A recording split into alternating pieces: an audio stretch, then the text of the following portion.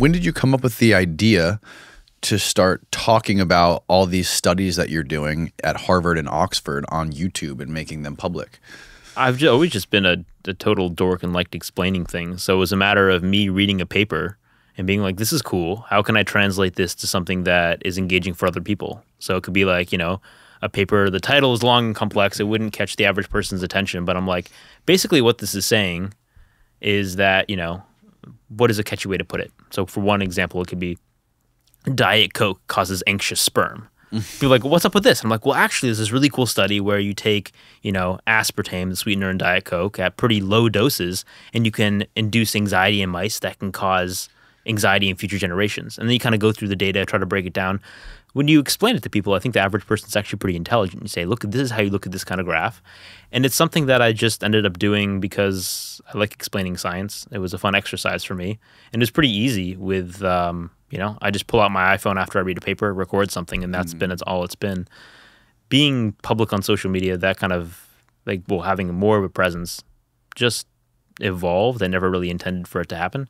So it's something I'm kind of exploring now because it's kind of fun. I was um, trying to actually decide on a uh, a topic to talk about at an upcoming conference in March, and what I think I'm going to go with is something about um, when worlds collide, when Jade Tower academia and the lay public kind of, you know, those worlds collide because we're living at a really interesting time, in my opinion, in 2024, where for the first time ever, the lay public has tons of access to information through the internet, through um, social media, and the um, academia is forced to interact with the public. Now, I think there are a lot of negative things that come out of this, but also a lot of potential positives. So, for me as a young scientist and a, a clinician to be, um, being in medical school, it it's really interesting to see how this will fit into my future career and um, what good it can be leveraged to execute on. So I'm just playing with it a little bit. So, for people who don't know who you are, explain um, your educational background and what you studied and where. Um, I did my undergraduate degree at uh, Dartmouth, where I studied cell bio and biochem. Um, graduated valedictorian there, and then went to Oxford University in the UK to do my PhD in metabolism. And now I um, finished that up, came back across the pond, and I'm doing my um, medical training at Harvard. And you are how many years have you been at Harvard Medical? This is my third year And you, but you got a PhD from from Oxford. from Oxford, yeah. okay. So And the PhD is in what again?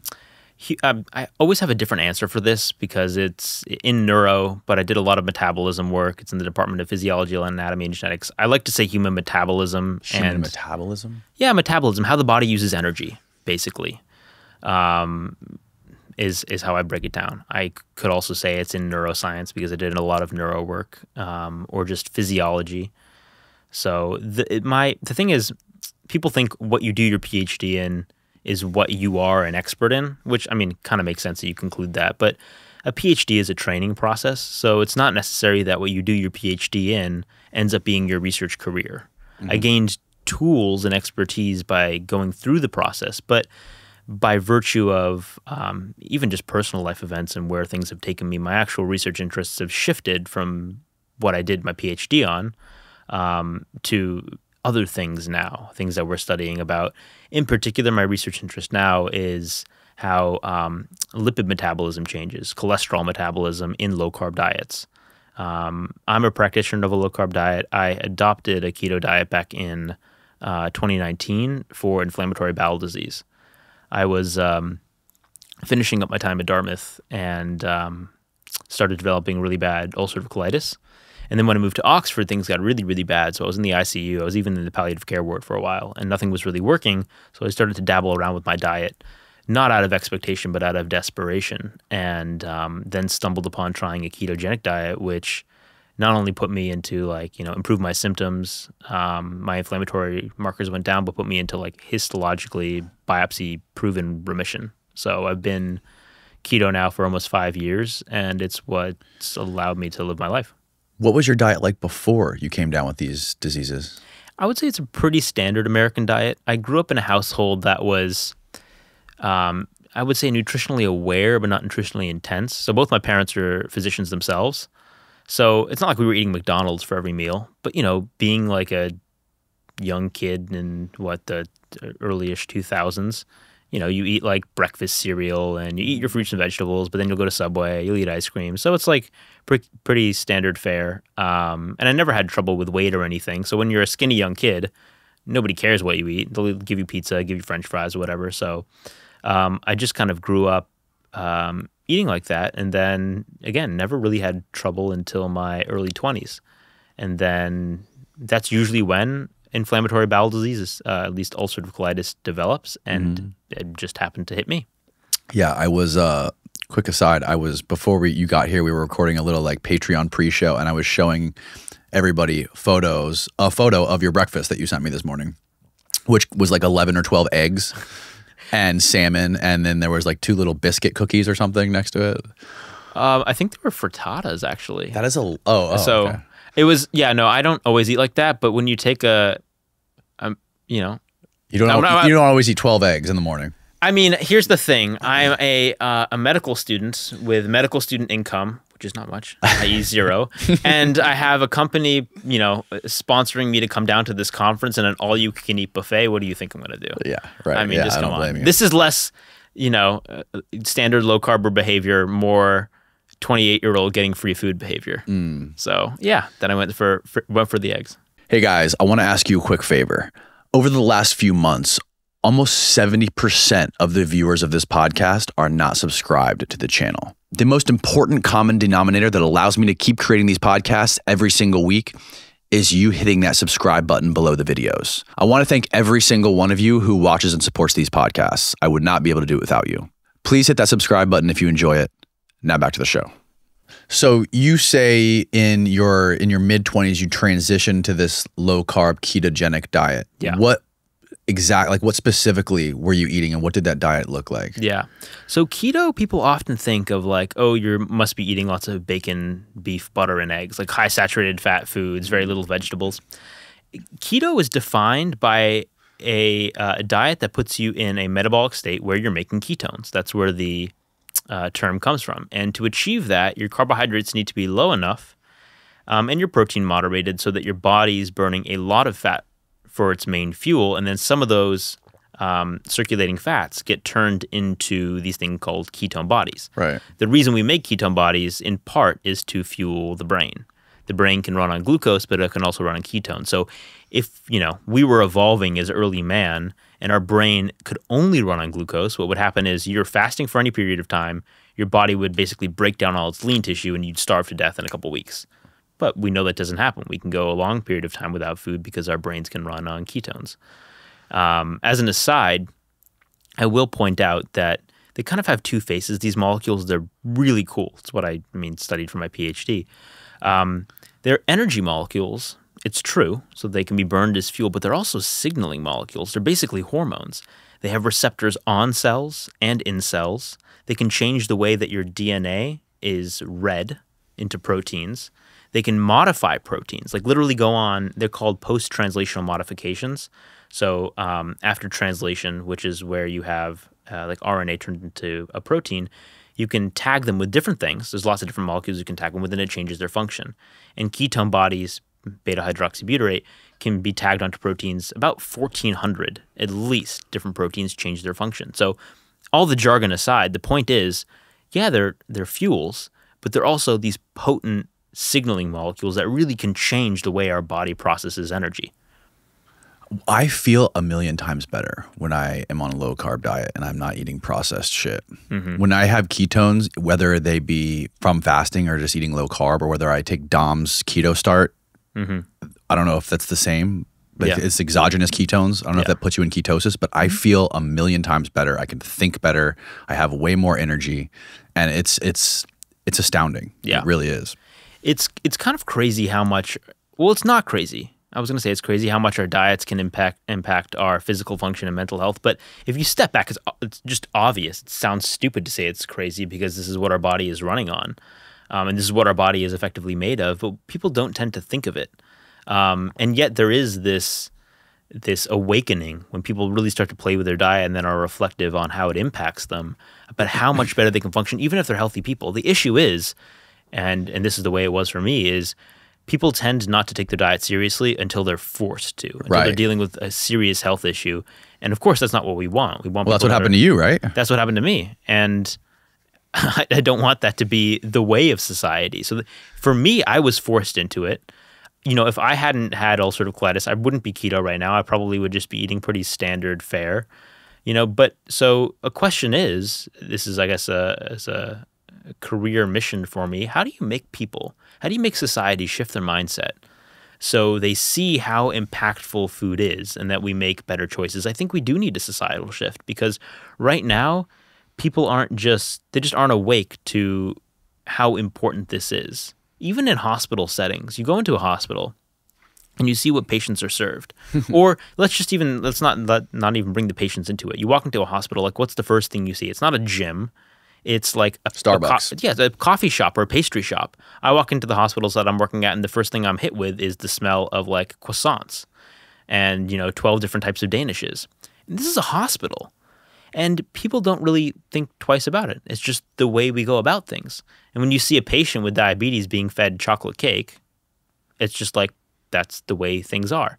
And when you pin anybody down, nobody gets defensive about it. And if I ask a senior doctor or a resident, like, isn't it just a little weird if you just stop to observe that this patient with a blood, you know, a glucose or a carbohydrate intolerance disorder is being fed chocolate cake in a hospital? Like, well, yeah, it's weird, but it's on the menu and they're, you know, an autonomous patient. They can make their own choices, which Such there's a- cognitive dissonance. there's a point there. I mean, adults need to make their own decisions. I have my, you know, um, it's it's a complex topic. The point is, I think we can agree it's dysfunctional. There's a lot of things we do that's dysfunctional. Another example would be, you know, bribing people with free Krispy Kreme to get vaccines. Like whether Oh my your God. opinions on vaccines aside, we can agree on the fact that you know, diabetes and obesity are risk factors for poor outcomes in COVID. So why are we permitting people to be bribed with donuts? Like this is a weird incentive structure. Again, it sounds controversial just because I'm talking about food and vaccines. Again, I'm not putting a value statement on vaccines. I'm just saying this is a weird dysfunctional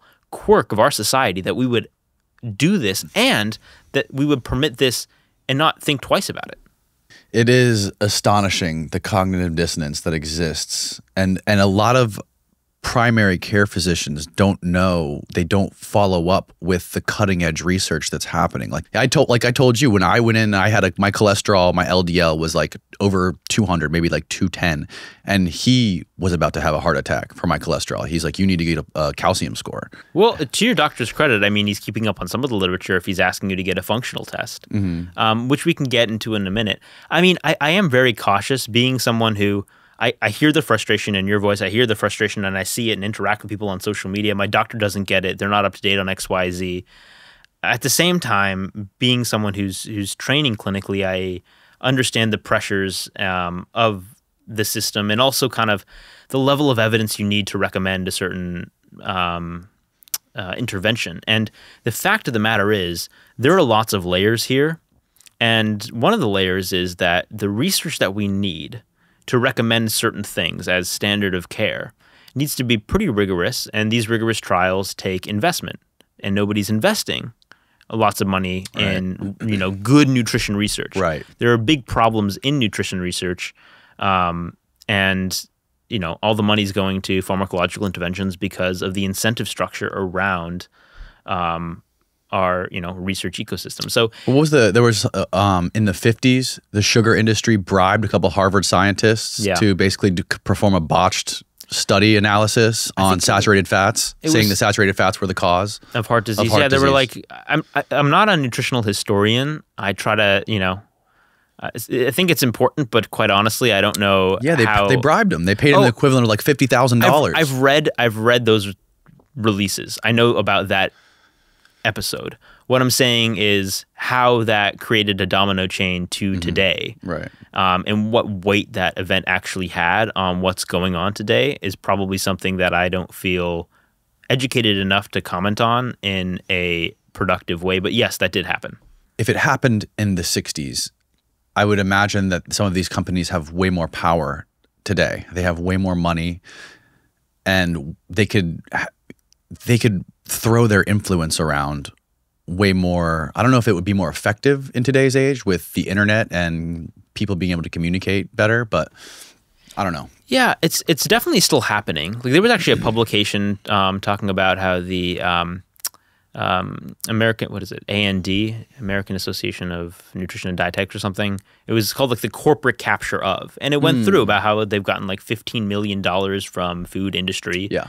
and that's obviously going to affect you know. And they again they release emails saying this is how it's probably affected what they do. I think that the real problems are a lot more insidious and have to do with incentive structures that are built into the system. And those are a lot harder to break because you can't just have a whistleblower saying this thing, which is clearly unethical, needs to be called out. These people need to be fired X, Y, or Z. It's like a faulty incentive structure that pervades the system. And that's not illegal, but, um, Right. and it's much harder to solve too. and in the media as well. There is the me- the media is very polarizing when it comes to this topic. There's if Yeah. you go on Netflix, all you see is documentaries about how the vegan diet is the Yeah. way to live the way to live forever. Do you see that in the new one? That was, what was it? Um, you are what you eat. Did you see that? That was the new one. I haven't seen that one. No, I try to avoid these nutrition documentaries. I think I saw Forks Over Knives is the one I saw last. yeah, it's so embarrassing. I mean, so the the recent one was about a Stanford twin study. Um, it was done out of um, yeah, that one. So they they took I think it was 20 pairs of twins, and the idea was we're going to feed them two different diets, right? A vegan diet and an omnivorous diet. And um, I think it was it was a two part, an eight week with two parts. One was a feeding um, portion, and then they actually transitioned to having them like kind of cook their own food. And the idea is, well, this is cool, right? We can take twins and feed them different diets, and that should be a really rigorous study because these are genetically identical, Right. identical twins. Here's the thing, though. I try to avoid watching the documentary because obviously they're translating it to a Netflix audience. But I got so many DMs that it, to review it, I just figured, all right, it's going to save me time to watch this. What was it? Something three ish hours. There were four episodes. They were like 45 to 60 minutes each. And I was so freaking frustrated because I'm I'm finishing the last episode and I went there to review the data. And I try to be pretty open minded and even handed. I went there to review the data. We're three episodes through with the four episode series. They haven't talked about any of the data. Not any of it. It was a propaganda piece. It was it was a bait and switch. And even the things that they talk about, like, oh, look at these like Stanford students making fake eggs. And then you look in the supplement of the paper, guess how many fake eggs the participants ate? Zero. What were the fake eggs made of? I don't know. They were like it was it was cute, and I actually think it was kind of cool. They have you know these Stanford students doing like um, meat alternative, like a meat alternative class in chemistry, and it's like this is cool. I'm all for this, but don't tell me you're going to be doing a documentary about the Stanford twin study and reporting on the health results. Then go through three of the four episodes, report none of the results, and then be trying to sell me beyond meat and fake eggs that the participants didn't even eat. Like this is a just again, it's where the media just takes the opportunities that they can in order to um, generate propaganda. And you know, I it's a game, and it's a game that rather than be entirely cynical about, I kind of want to learn to play because it is the landscape we're in. Hmm. So you know, you you know what's coming in this conversation and what I've done recently. Yeah. This is my first attempt to kind of play this game with the resources I have, because you know you can sit in the sidelines and kind of moan about the system, or you can, you know, start to use it to your advantage and, you know, in a way that you feel is um, ethical and transparent. So I don't mean to be trying to be wise here. I mean to be, you know, speaking to you as the guy who is trying to figure it out right now. Because, like I said, I'm in a very weird place. Mm. I'm a scientist by training. Now I'm training to be a doctor. I like to communicate. I've also been the frustrated patient. And now, for better or worse, I have a social media presence. And it's just like, how do all these things meld? And how can I use the resources I have to um, maximal effect? So, um, yeah, it's it's it's fun. It's interesting. It's a little bit scary um, because I'm always trying to really reflect on whether what I'm doing is having a net positive or net negative benefit. I think there's a tendency to be like, oh, but I meant X, Y, Z. We always have intent. But something you definitely learn in clinical training, if not other places, is that your intent does not necessarily match perception. And when push comes to shove, perception and impact are really what matter. So Yeah. it's worth being reflective about you know, is is what I'm doing actually benefiting Mhm. um, people, or is it having harm? And try to leave ego when you're at the door when you're reflecting on that. So, when you first went to the ketogenic diet, your cholesterol was like above 500, right? It started. So I actually didn't describe what my diet was when you asked. So I'll get to that in Oh, a minute. okay. But um, So we, yeah, my point was like th- Oh. that's that's the biggest concern I feel like with people that are ketogenic or on carnivore is that the, the cholesterol is through the roof and people don't want to die of heart disease. Right. So um, when I went low carb, before I went low carb, my just for a baseline, my LDL cholesterol. That's what people call like the bad cholesterol. So when I when I talk now, I'm going to be talking about this LDL or LDLC primarily. Mhm. It was 95, which is pretty normal. I went low carb, um, and on my first repeat test, my levels were well above 300. Now, I said I didn't describe my diet. I now want to describe it because when I started low carb, the way I did it was very low saturated fat, like lots of vegetables and fish, very little red meat, because that's what I thought was healthy at the time. Very little butter, No, I didn't use butter at all. olive oil. Uh, lots of olive oil, avocado, olives, lots of leafy greens and fiber. And um, I designed it that way just because if I was going to try keto, that's what I thought was healthy at the time. Now, I want to emphasize that because despite that, my LDL levels more than tripled. So it wasn't like I was guzzling butter here. People like to try to boil it down to, oh, they're just eating a lot of saturated fat. That's a lazy explanation. And I'll repeat that. That's a lazy explanation. It doesn't describe the phenomena we're seeing um, on lo- a lot of levels. Remind me to get back to why saturated fat is such a bad explanation. I can come up with a bunch of reasons. Okay. But the first reason is there's no suggestion in the literature that saturated fat can have this kind of impact on people in general. Like when saturated fat increases your LDL in the general population, it can have a little blip. Mm-hmm. But it's not going to increase your levels from 90 to over 300. The only thing that people think can make your LDL that high, 300, and then eventually mine ended up continuing to climb to the highest it's been. My LDL, not total, my LDL was 545, which, again, you show that to a doctor and they think one of two things. They think this is a lab error and a fluke, or you have a terrible genetic condition and you probably should either start a medication or go coffin shopping. Those are your options. So um, that is, you know, now very clear that that is a event that happens for a lot of people that go on low carb, where they have their LDL skyrocket and um, then they, you know, are stuck between a rock and a hard place because they love this lifestyle. It can often be very therapeutic. So for someone like me, I need it Right. um, but then their LDL goes through the roof. And how do you, you know, manage these things, you know, clinically and as a patient? How do you walk the line between them? And what is actually the risk profile of this particular LDL rise? And we're going to get into why it's unique, I'm sure, in a minute. But um, um, the interesting thing about it, and I'm going to give a hat tip to my good friend and colleague Dave Feldman. He noticed when this happened to him. This happened to him in 2015. And he was looking around and seeing who else it happened to. And he's like, huh, this is weird.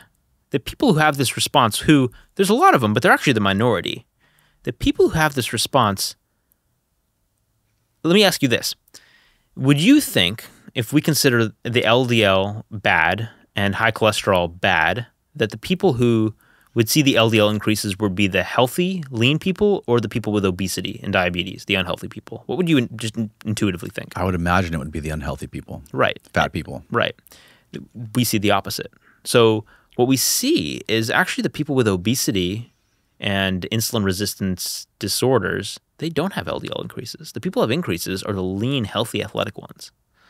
So Dave observed this. This was back in 2017. We didn't have hard data. Um, he didn't have hard data. I wasn't even keto at the time. I was smashing cookies at the food court. Um, and um, he coined this term in 2017, lean mass hyperresponder, a term to, to distinguish these people who go low carb and see the increases in their LDL along with high HDL and low triglycerides. And we can also get into the mechanism behind it because it's really, really interesting. But um, he observed this and said, okay, but these people are usually lean, so we turn, turn them lean mass hyperresponders. Hyperresponders to low carb, where their you know hyper response is the increase in cholesterol. So lean mass hyperresponders was the term.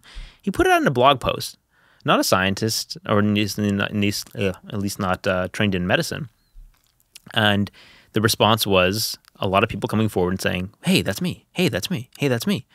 So we started a Facebook group. It now has over 11,000 members, and a community has arisen. It's very clear now that there's a population of people who are lean and healthy, who go low carb, or lean and metabolically healthy. They might have inflammatory disorders, autoimmune disorders, neurological disorders, mental health disorders. But for whatever reason, they go low carb and their LDL then skyrockets. And then they're freaking out or their doctors are freaking out. Anyway, um, fast forward a little bit. You know, I go low carb. This happens to me. And I join Dave when we start doing a little bit of research saying, okay, there's something here. Let's try to figure out what it is. Then our first paper was published near the end of 2021, early 2022, um, with a team at uh, Harvard in Mexico with some, my friend Adrian Soto-Mota. He was a MD PhD. He trained with me at Oxford. And then um, senior author on that first paper was uh, MD PhD endocrinologist at Boston Children's and Harvard. And what we showed was actually, yeah, there are lean mass hyperresponders. There's a phenotype that exists. And as it happens, there is an inverse association between body mass index and LDL and low carb diets, so, which means the leaner you are, the higher your LDL goes.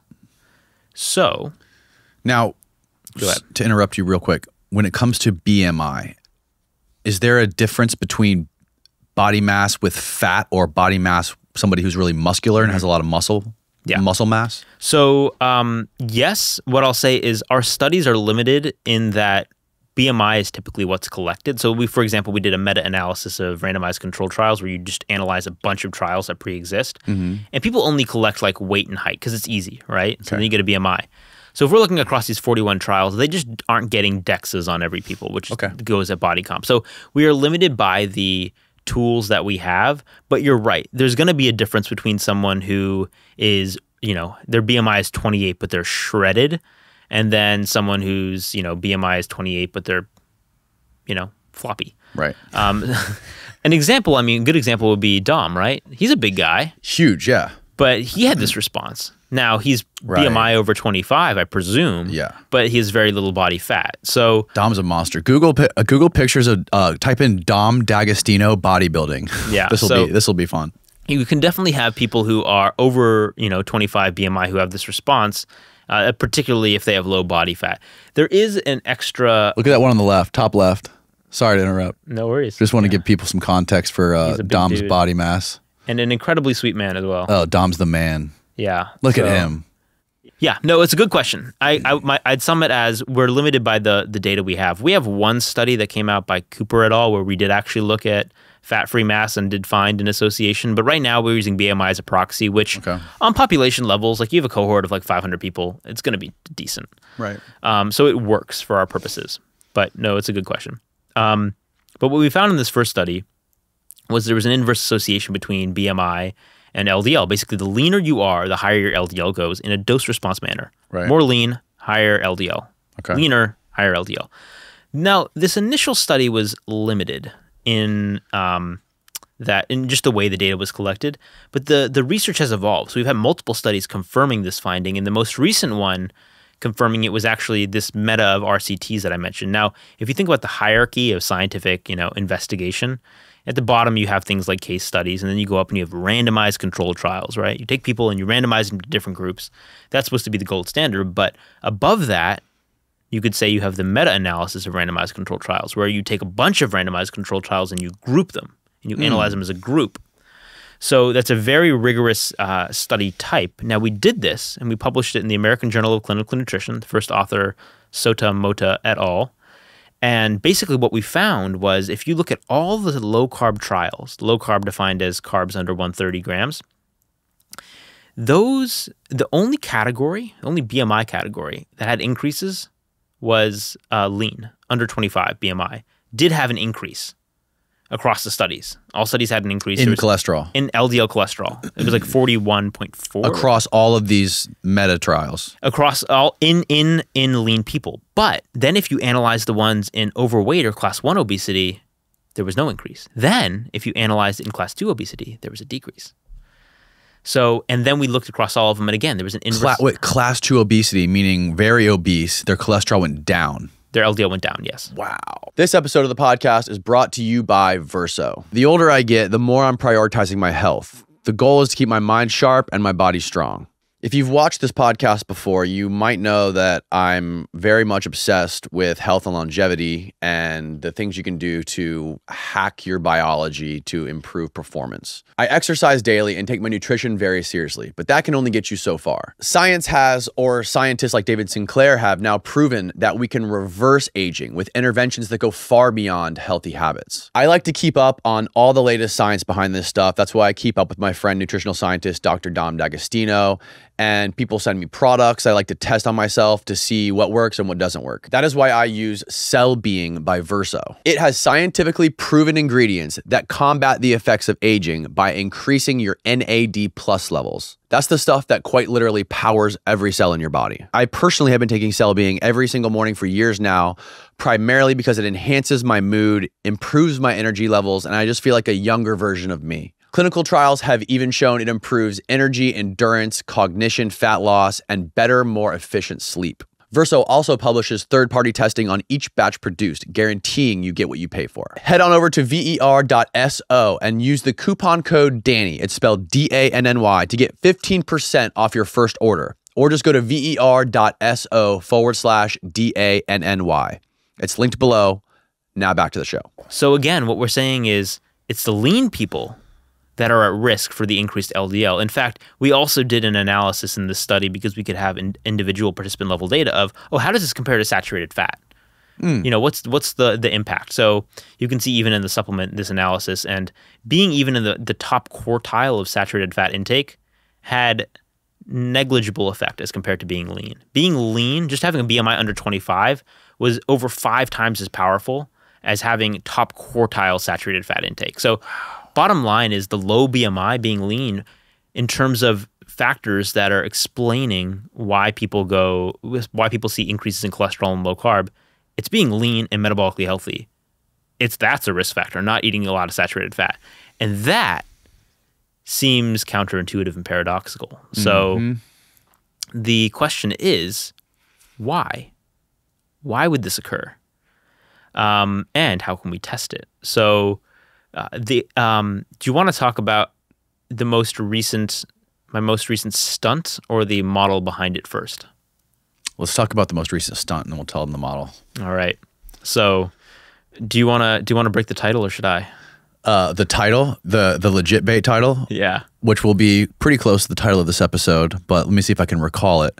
Harvard medical student uses Oreo cookies to lower his cholesterol. Is that about right? Something like that. Okay. Yeah. We didn't. So you did a study. Basically, you ate Oreo cookies, 16 Oreo cookies a day for almost a month, and then you did a washout trial, and then you did the same thing with statins, and you compared your cholesterol, which uh, is it was 12 per day for 16 days, but otherwise, okay. yeah. So, so we'll get into the model in a second, but my my thought process here, again, going back to to to translating science to a broad audience, is look what I'm studying, this phenomenon that we just described, if you're following along, you might have had that, like, huh, this doesn't make sense response. I think that's an appropriate response.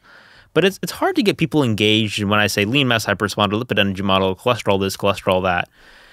And when I try to explain the intricacies intricacies of the model without some sort of hook, people, you know, often get lost. And in particular, actually, I'd say you know, there isn't much traction in academia. I would say there's even suppression. Um, and suppression, I'll just be clear, I'm not a person who uses hyperbolic terminology flippantly. Uh, I'm very particular about my words. So when I say suppression, I mean suppression. And we can talk about that as well, including things that have been published that I think are just I, I, I am astonished that they got published. Um, this you're talking about this specific study you did. You no, I'm, talking suppression. About, no, no, bef- beforehand. So what I'm saying is I'm building up to why I did this, and what I'm saying is okay. what we're studying I think is very important, but it's not being talked about enough. So, it might be the most important. Uh, you well, can say that. I won't. Re- I won't reject that statement. But anyway, um, I think it definitely has importance for under you know progressing the science and also providing you know patients and clinicians with information that can be immediately clinically useful. So, um, point being, we'd actually shown before that adding back carbs in these lean people can lower LDL. We've even shown it in a case series that the most dramatic response we had was adding about a sweet potato per day, lowered the guy's LDL by 480. Wow. So lowered it by 480. As in, it was 665, it dropped to 185 with about a sweet potato. But One sweet potato a day. it was, I mean, a 50 to 100 grams of carbs. So a sweet potato I'm using as a, you know, a comparator of like that carb dose. That was in a case series of five patients. Average drop was over 200. We had a recent um, interventional trial, also again drops, but people aren't talking about these, and that's a shame. Not only because I think the science is important, but because there are so many, there are thousands of patients going to their doctors with this response, and if the doctor's first you know, thought is this must be a genetic disorder. You definitely need medications for this. Then somebody could, you know, end up being signed on to, you know, statin therapy or Repatha or some other medication for life rather than trying an intervention that actually might be more potent with less side effects, eating a sweet potato. Now, if you need it for therapeutic reasons, a ketogenic diet, we have a different discussion. But bottom line is, this is important and needs to be talked about, but it's not being talked about. Can So- you stay in ketosis if you eat a sweet potato every day? Uh, mm, Or The- or, the or 100 grams of carbs from anything every day? the idea but not without exogenous ketones. Okay, so so the i you know we can talk about patients who need it therapeutically Right. but just the idea that you could reverse this phenotype with carbohydrates um, which is consistent with our explanatory model i think is important. So you know i want to get the word out about the model and the phenotype. That's because i think people should know. I also think that um, we need more resources to do the rigorous research. And I'm not a professor emeritus with millions of dollars in funding, but I can be creative and I can, you know, stimulate grassroots enthusiasm for this and create pressure um, and interest that hopefully can drive the research forward and get us more resources. So I engineered something that I thought would get some headlines, which was Oreo versus statin. The idea here is if this is a phenomenon that is an adaptive response to carbohydrate restriction, so basically what happens is when your carb stores um, in your liver go down, it kicks off this this fuel trafficking cycle that causes your LDL to go up. We'll get into the nitty gritty in a minute, but Steve, you have you have a whole uh, PowerPoint with some of the graphics that really illustrate this Yeah. well. So yeah, so the basically when you're when you're eating carbs, your liver stores glycogen, right? Yeah, so glycogen is the stored form of carbs in your liver. It's used to, you know, you know, it uh, when your blood glucose starts to go down, you'll release some glucose, and it keeps it at a, a steady level. Now you can obviously create more glucose from things like proteins and. Um, so it's called gluconeogenesis. But bottom line is the, the the cycle here kicks off, and I just want to first give a hat tip to my friend Dave Feldman, who came up with the model initially. It's called the lipid energy model. This is a figure one from our paper we published on it a few years ago. But the idea is your your carb stores in your liver go down. And when you're, you know, lean and metabolically healthy, you're really good at burning fat. So what happens is fatty acids get released from your fat cells, which you can see here as the little jaggedy lines, and they're circulating around to fuel your tissues. But um, some of them get picked back up by the liver, and then to continue the trafficking process, they get repackaged into a storage form of fat. That storage form of fat is called triglycerides. So you take three little fatty acids and you stick them on a backbone called glycerol, and you end up with this molecule that kind of looks like an M. And then to ship them out, because fat doesn't like sitting in water, if you pour like oil and water, you know they don't like to mix. Right. You need to a carrier um, boat, let's call it, and that's called VLDL. So that's the big uh, sphere there that's in orange and green. And the liver ships out these VLDL, very low density lipoprotein that's carrying the fat. And then the VLDL are going to go to your fat cells, the little yellow cells there, and your muscle cells, where they're going to drop off their cargo. They're going to drop off the fat. So it's going to replenish your fat cells and it's going to fuel your muscles. So what's happening there is a protein uh, called lipoprotein lipase is kind of sucking the fat out so that they can go back into the fat cells in the muscle. And in this turnover process, where the VLDL is being turned over, the fat's being sucked out, the fat goes down. So fat in your blood is called triglycerides. And I'm gonna Right, I'm, I'm highlighting these because these are the terms that are going to define the triad. You'll see Right. how it does it. So you know, there's the VLDL is being shipped out, it's being turned over. The triglycerides are being sucked out, going back into the fat and going into the muscle. So your triglycerides are going down. Right. And then what happens when you take this big VLDL sphere, this boat, and you suck out the core, the triglycerides, the triglyceride goes down, then the sphere shrinks. So when a VLDL shrinks, it becomes an LDL. That's what an LDL particle is. So then you know, because your VLDL is being shipped out so fast and turned over so fast, your triglycerides go down and your LDL goes up.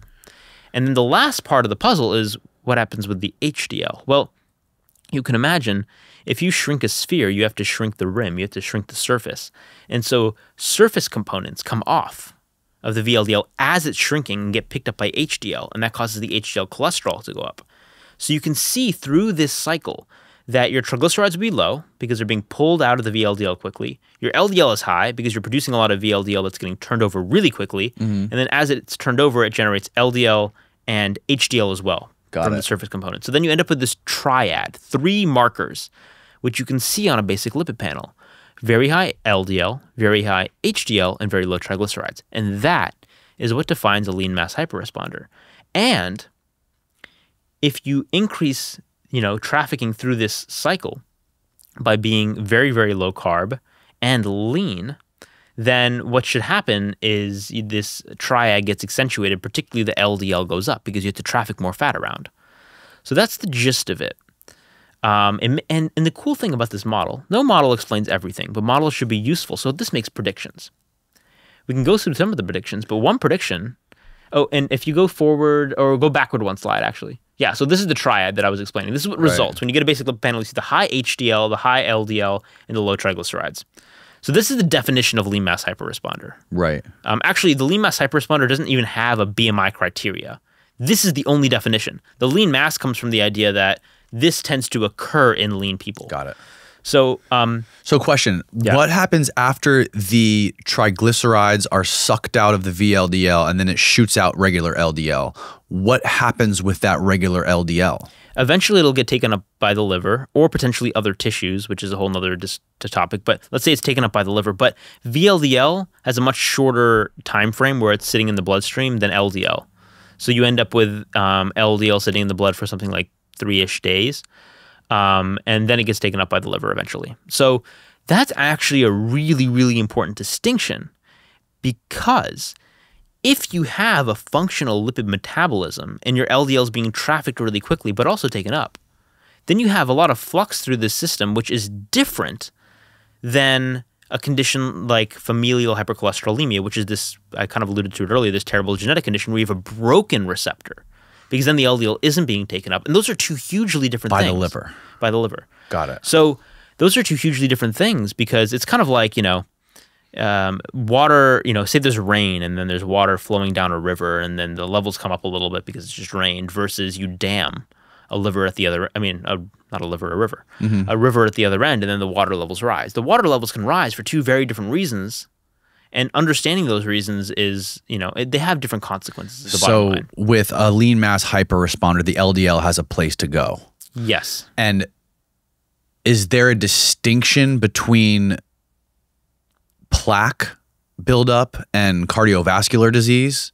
Like why even if it's if there's mm-hmm. more LDL even though it's getting taken up by the liver it's still circulating through your arteries and and your bloodstream, right? So why wouldn't that why wouldn't that cause cardiovascular disease in a lean mass hyperresponder?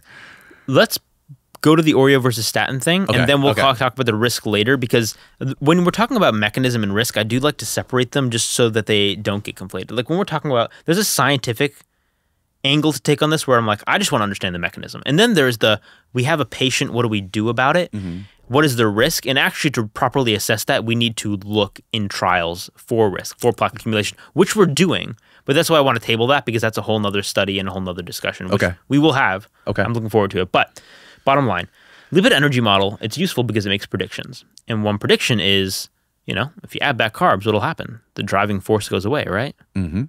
So, should any carb work? I mean, according to our model, it, the model doesn't distinguish. It doesn't say, oh, you need a healthy carb. So, should I be able to do this with Skittles or French fries or Oreo cookies? In theory, it should work.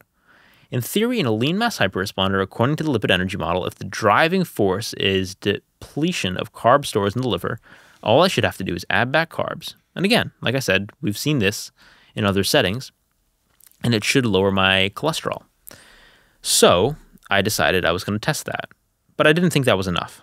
I wanted to test it with a comparator, and I wanted that comparator to be standard of care therapy. in particular statins, which you know most people over 40 listening to this probably will know what a statin is. Um, if you don't, Google it. But it's a common medication for lowering cholesterol. So I thought I'd use a high dose statin at that, 20 mgs rosuvastatin specifically. And I did all the appropriate things. I went to the IRB. They gave me exemption because it was an N equals one study. A PCP was ordering labs, so she was getting all my labs. They were going straight into my electronic medical record. And I got a lipidologist to consult, an expert, um, Professor William Cromwell, who was consulting on study design and ended up being senior author on the paper. He's been brilliant, um, really open minded, and really uh, a great mentor in this process. Is he at Harvard? He is not at Harvard. Okay. Um, he's in North Carolina, if I'm correct. Okay. And um, anyway, um, so I came up with a study design, which was I was going to have a run-in period with my normal diet for two weeks and have blood labs and then do Oreos for about two weeks at 12 cookies per day, 12 cookies chosen because it's 100 grams of carbs. And then I was going to do a washout period, meaning I go back to like a keto diet, let my cholesterol levels, excuse me, return to my, their higher, you know, normal status, normal for me, um, and return to my normal body composition because this was an addition. I didn't want to swap out because I don't want to be like, oh, but you reduced fat because you added Oreos. Like, no, I added Oreos. I didn't swap anything out. I didn't reduce my saturated fat intake. Actually, it went up because I'm eating Oreos and they have saturated fat. You maintained your ketogenic diet that you normally follow. Yes. In fact, if you go to in the paper um, table one, it goes goes through the macro breakdown. And what you'll see in, in table one is that my you know uh, Oreo diet was basically just the macro okay. equivalent. Um, uh, yeah, sorry, I didn't put it in the slide deck. It would actually be in the actual paper. But um, you, what you'll see if you actually go to the paper, which I encourage people to do, is that for the statin arm and then the run-in, I had the same diet, and the only difference in the Oreo arm is the difference that would be the macros of Oreos. They just get added on. It's a Got pure it. summation. So. Okay. Um, so I added 12 Oreo cookies to my diet for um, uh, initially I was going to do it for two weeks, then a washout, and then rosuvastatin for six weeks. People ask why different phases. I mean, sorry, why different durations for the two phases? For statin therapy, just given the kinetics of the drug, um, I was advised by multiple cardiologists and Professor Cromwell that a fair trial of this medication, to give it its you know fair due, fair trial, would be six weeks. So that's why the statin phase was six weeks. The Oreo phase was two weeks because I thought it would be enough time, quite honestly. And also eating a whole sleeve of Oreo cookies in addition to my diet when I have a background of gut issues was I wasn't going to be able to pull it off for six weeks. Yeah. Um, anyway, so Why did you choose Oreos, by the way? Why not something else? can you think of one food that has better branding and just acknowledgement that it is a delicious, hedonic, unhealthy food? Can you think of a better brand? No, probably not. Yeah, Maybe Krispy Kreme. I don't think so. I think No? more people know Oreos and Krispy Kreme. Yeah, you're probably right. Yeah. I so that was it. That was the reason. That was like again, sweet potatoes aren't going to catch the headline. What is the thing that is the most provocative? That if I said this thing, this food lowers cholesterol, Yeah. what would that thing be? What shitty food has the best SEO? Yeah, and it's it's Oreo cookies. It's I probably Oreos, I you're I couldn't right. think of something better than an Oreo cookie. Um, and so we went with Oreo cookies, or I went with Oreo. Did all of your underlying issues that you had previously flare back up? Uh, no, there was actually one additional um, element to the methods that I have not mentioned, which I will mention now, which is I actually did use exogenous ketones during the Oreo phase, and I'll tell you why. There were two reasons. One was um, it I think is therapeutic for me, um, ketosis. It did irritate my IBS, which is different than IBD. Inflammatory bowel disease and irritable bowel syndrome are two different Okay. things. So I had GI upset, but I didn't go into a flare. And I have reason to believe that ketosis is actually protective for me. So exogenous ketones might provide a buffer. But actually, the main methodological reason I wanted to do exogenous ketones is because while it seems like an addition to the intervention, like you're changing multiple variables, you're actually not. You're controlling for ketosis as a variable. Some have speculated without evidence, actually contrary to evidence, but including lipidologists on Twitter, prominent lipidologists. We can name them if we want. Sure. Um, Thomas Dayspring. Um, I might get in trouble for saying that, but nevertheless. Um, Why? the- uh, we can talk See a big it. shot? He- thinks he's a big shot. Oh, okay. I'm gonna get. Even, I've never heard of him. I'm gonna get into even more trouble for saying that.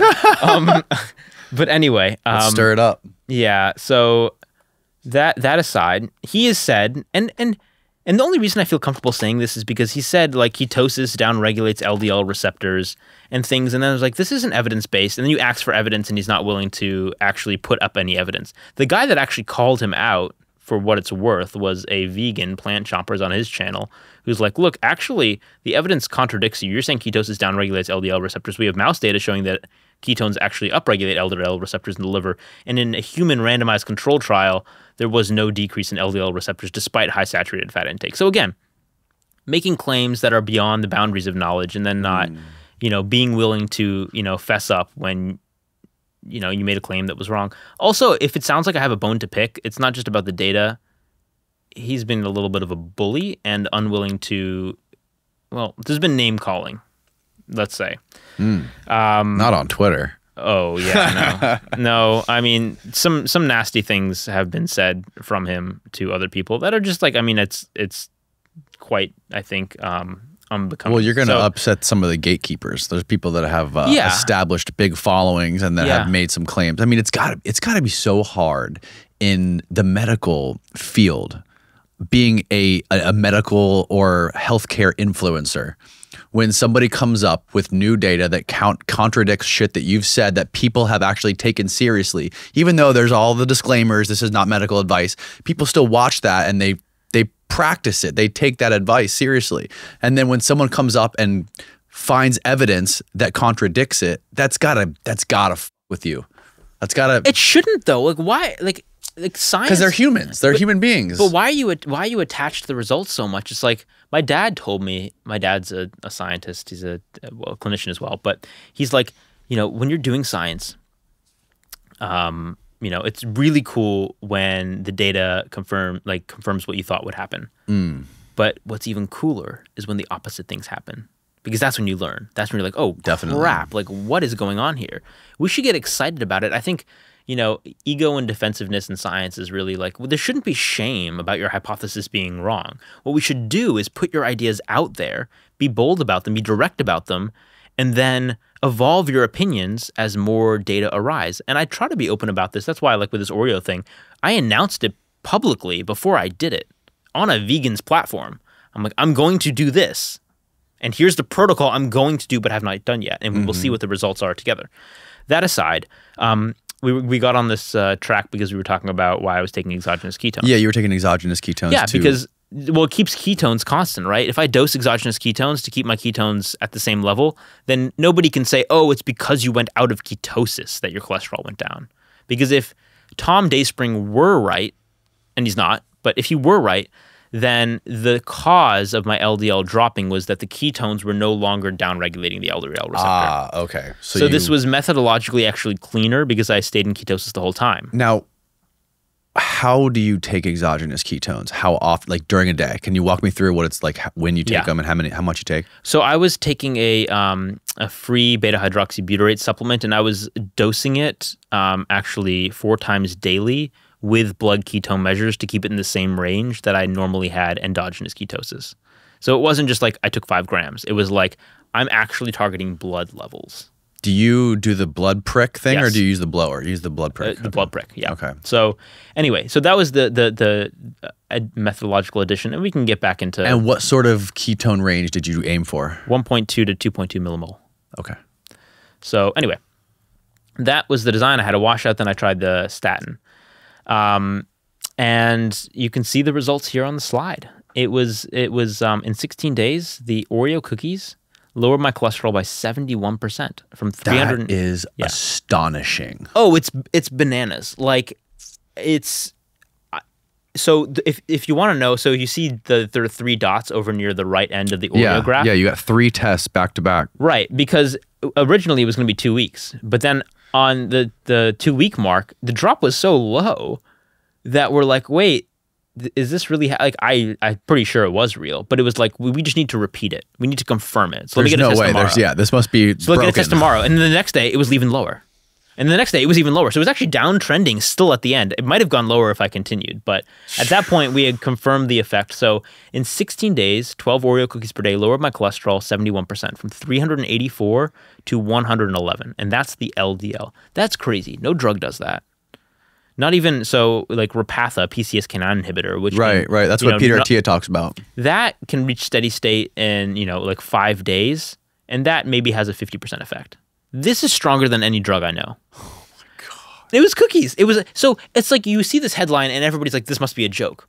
It's clickbait, but it's legit bait. I this happened, hmm. and even if you just say it's one patient case, yeah, but it's a patient case that was predicted by our model, and that's consistent with all the other literature we have on this topic. So take that as you will. Now let's compare it to statin therapy statin therapy at a at I I wanted to make it look as strong as it could, so I chose the lowest point, which actually wasn't the end point. I'll tell you why in a minute. But it dropped to 284.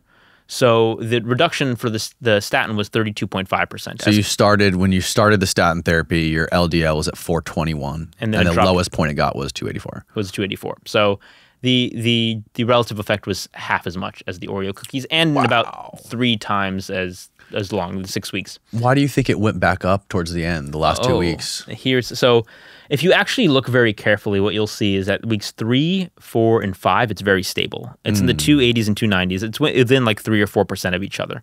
So consider that stable. So say it took me three weeks to get kind of to a steady state. And my initial plan was to go all six weeks and keep everything as consistent as I could. But when you have stable levels for three weeks, it actually presents okay, I'm at steady state. We kind of have the result let's test one more, do a subtest of lipid energy model, which was, all right, one prediction is adding back carbs should lower um, LDL. We've demonstrated that, and we've demonstrated that Oreo cookies are more effective than statin therapy in this crossover. Um, another prediction of the lipid energy model is if this is an energy trafficking system, if you're keto, which I was on the statin phase, what should happen if you need more energy? If you if your my LDL is going up because it's trying to traffic fat fuel, and then I need to traffic more fat fuel, should my LDL go up or down?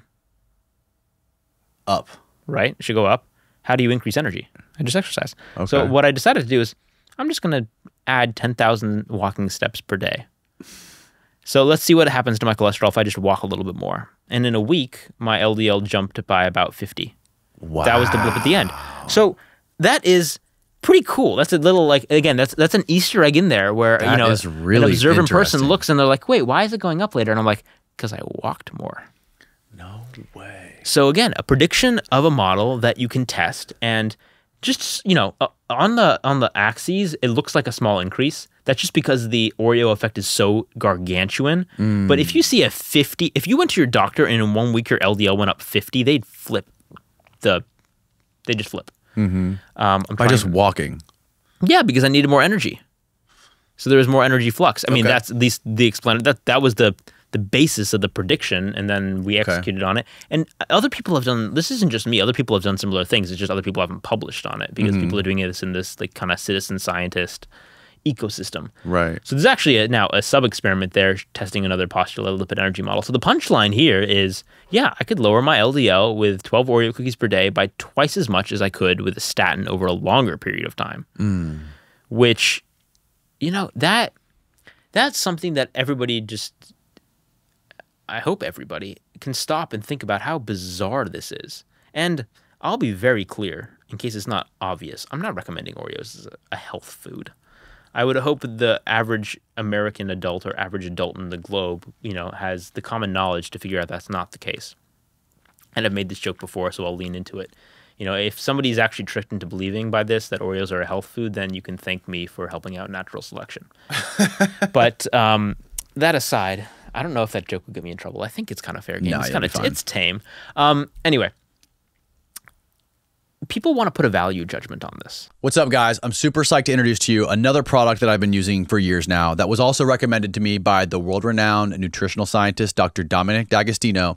And it is called KetoBrainz. Keto Brains Nootropic Creamer is a way to perfectly dial in your morning beverage to bring you razor sharp focus on demand. I start out every day with KetoBrainz in my cup of coffee to combat the midday slump, and I use it for pre workout. KetoBrainz Nootropic Creamer has efficacious doses of focus inducing alpha GPC, lion's mane, alpha wave promoting L-theanine, and ketone stimulating C8-MCT powder. And all of those high functioning nootropics are packed into a delicious, creamy coconut powder. It tastes amazing. It's a keto nootropic powerhouse and it tickles all the right neurotransmitters to give you the flow and jitter-free energy with absolutely zero crash. There's no dosage tricks involved. It's just one scoop is a full serving. You can put it in your coffee, your tea, put it in your water, whatever you want, and you get 30 full doses per package. There's no pills and there's absolutely no waiting for it to work. It kicks in like that. You can keep your brain razor sharp, primed, and ready for action with KetoBrainz Nootropic Creamer. Whether you're an entrepreneur juggling multiple projects, a student studying for exams, or you're an athlete that's trying to optimize your training,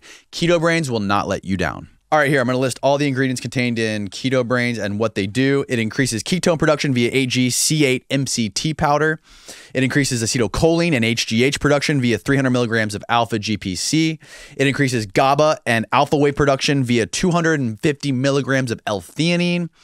And it increases BDNF and NGF via 500 milligrams of lion's mane mushrooms. And these are all carefully sourced and third party tested ingredients. This stuff quite literally increases acute brain function, protects your brain and mitochondria long term, and last but not least, it makes your coffee delicious. If you're interested in KetoBrainz and you want to get a big discount, just go to the link in the description below ketobrainz.com and use the promo code Danny20 when you check out. Again, that's ketobrainz.com hit the link below and use the promo code Danny20 at checkout.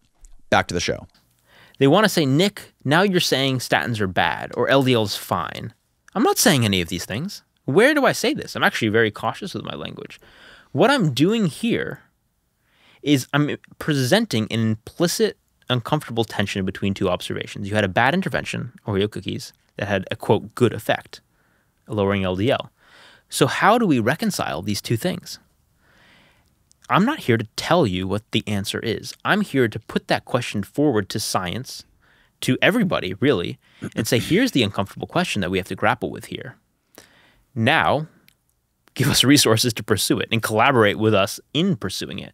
It's that uncomfortable question. And I think people are, you know, not, well, obviously they're uncomfortable sitting with this uncomfortable question, but I think that's very cool. I think it's, again, it's meant to be provocative, it's meant to make you look and have a little bit of a gut emotional response because honestly, that's what's going to capture attention and pr- provoke future research that we need. This isn't going to change any policies, nor should it. I'm not trying to make any claim other than this is curious. We need to study it more. And I find this so fascinating. When did you publish this online? Monday. On Monday. On Monday. So what sort of Friday. response have you gotten? Oh, psh, the last four days, I I mean, day two, I woke up and there were two thousand emails in my inbox. And, and and and there were cool emails too. Like one email was from a physician who was a lean mass hyperresponder. She's like, "I want to replicate it. Can we write a protocol for me?" And this is a doctor saying, "I want to do this on myself because I'm a lean mass hyperresponder." For the record, there are a lot of lean mass hyperresponder doctors. I've met at least a dozen. Like these people, like it's like atheists in the clergy. You walk through the hospital and like, "Hey Nick, so I'm a lean mass hyperresponder." Um, so yeah. Anyway, that aside, um, and then on uh, you know Twitter there was a strong response. Um, YouTube there was a strong response. I'm not big on YouTube. I mean, thank you for listening to my channel, but like I literally your YouTube's my, amazing, man. You do a great job. I I pull I, historically I've just pulled out my iPhone and just kind of broken down a you know a a a paper or two. I'm trying to level it up with some like I've now um, I'm outsourcing editing via Fiverr, which is going to be a game changer. So I'll drop some videos. But the video abstract jumps to a quarter million views, which for someone that with like, you know, a month ago I had 7,000 subs, a quarter million views is a relatively big response. And then there's like paper tracking metrics. So you can actually get a holistic score for your um, paper attention. It's called an alt metric score. And, and get this within a day of publication, 24 hours, literally 24 hours, our paper had jumped into about the top 0.05% for all time. For comparison, something so Nature is like a prestigious journal. They talk about yeah. the big three: Cell, Science, Nature. Mm-hmm. Nature, the average score is 102. The highest impact factor journal in the world, I think, is the New England Journal of Medicine. Its average impact fact, its, its average altmetrics of 128. These are lifetime scores. In one day, our paper had hit over 1100. And you know, this isn't like by any means like a world record. I mean, I think now we're in the top ten thousand for twenty five million of all time. But but point being, like for what it was, which is a kind of a dinky little case study experiment, the response has been dramatic, and this has only been a couple days. so um, it's been it's been fun. I have had a lot of very interesting discussions. What I will say is that sometimes it's fun to highlight the trolls just because it actually acts as a little bit of trampoline for engagement. And if Yeah. your goal is engagement, it can be beneficial. Mhm. Um, but 99.9% of the responses have been in- incredibly um, curious and respectful. And just as I wanted it, wow, this is cool. I want to learn more. For anybody that actually does some digging, somebody might say something like, oh, you're just trying to create an excuse to create, you know, eat Oreo cookies. To which I say, if that were the case, you kind of have to give me props for commitment there. But it wasn't the case. That aside, no, especially in academia, I think I've heard from so many doctors who are like, um, either I, I wasn't aware of this before and now I'm aware of this, and actually it's going to help me treat my patients. I've gotten that response. Or this is so cool. Like, how do we learn more about this and how can I help out in the process? Um, including from people like, look, this isn't a like a, a, a carnivore versus vegan, low carb versus low fat kind of thing. This is just science. This is curiosity. So I've had great discussions with plant based scientists um, who are interested in this, and they've you know been really open and um, to having these discussions. So this is provocative, but I don't think it needs to be the kind of provocative thing where we're sniping at each other. It's the kind of provocative thing where it's just this is something curious. Let's come together and figure out what the heck the answer is. Mm-hmm. We have some ideas, but we need to rigorously test them. So it's been a fun few days. It's definitely What sort of negative feedback have you gotten? Have you gotten any negative pushback online or anywhere? Nothing really significant. I mean, having been somewhat public for a little bit of time and having certain brands on my back, like just being Harvard branded, for better or for worse, people like to hate on you. So they come up with caricatures and they say stupid, stupid things, um, but nothing really serious. Some will say like, "Oh, this just show," and they, and when I quote people, I'll try to quote for people that are, have some degree of relevancy. The chief medical officer at Weight Watchers commented. His name's Spencer Nadolsky. He's a little bit of a well, I won't. Douchebag? You said it. Um, Sorry, Spencer. I, I don't know who Spencer is. That was just a joke. effectively. So, I mean, something like this just shows Nick's diet was so bad before that Oreo cookies improved it. Which too, I'm like, all right, dude. Like, is that your like like your your lipidologist insight? All right, fine, leave it like that. Again, I think I, I used to get more touched by negative comments on social media, but the thing is, if you're putting out scientific work, even if it has a funny title or a headline, if you're putting out scientific work and somebody attacks it in a very, very weak fashion and tries to troll you, hmm. then they're not providing the speed bump they think they're providing. They're providing you a little trampoline Yes. off of which to contrast yourself and your response and push forward. So the trolls that are going to put forward They're boosting your signal. Yeah, exactly. Keep it coming, please. And if you actually have constructive criticism, I want to hear that too. So I found that, you know, they say like, you know, all attention is, is good attention. I never used to believe that. Now I believe all attention can be functional if you see it in the right light. Um, so again, I, I- I stand by the data we have. And it's not that I stand by this n equals one as a solo n equals one. I'm standing by this frame by meta analysis of RCTs, eight other publications we have. There's a waterfall coming out. It's just that it's not being talked about. And so I needed something to kind of poke people, say, hey, check this out. And so that was Oreo versus statin, which, you know, it was it was an experiment. I have to say, it was a two part experiment for me. One was actually testing the lipid energy model. Um, another one was a sociological one, which is I'm playing with fire here a little bit, obviously. Social media fire, media fire. And, you know, that fire could get out of control and get away from me. I have a goal. I don't know if I'm going to be able to achieve that goal of mobilizing people, starting this like grassroots enthusiasm for this topic that I'm really passionate about. So I'll see how it goes. I'll see how effectively I can control the narrative, incite excitement for science and this topic. Like Andrew Huberman always says, you know, thank you for your interest in science. Like that's what I want to be the punchline here. Right. Not Oreo cookies are healthy and I don't want to stir confusion, certainly. So I try to be pretty clear in my messaging. I don't know if I'm going to be able to hold on to the narrative, but again, as someone who is looking forward at his career, trying to figure out what he wants to do. These are useful data for me in figuring out, like, you know, how can I use the resources available to me in 2024 to promote a dialogue in a productive fashion? You know, I this isn't something that anybody else is really that anybody else I can think of has been in the particular position to do, right?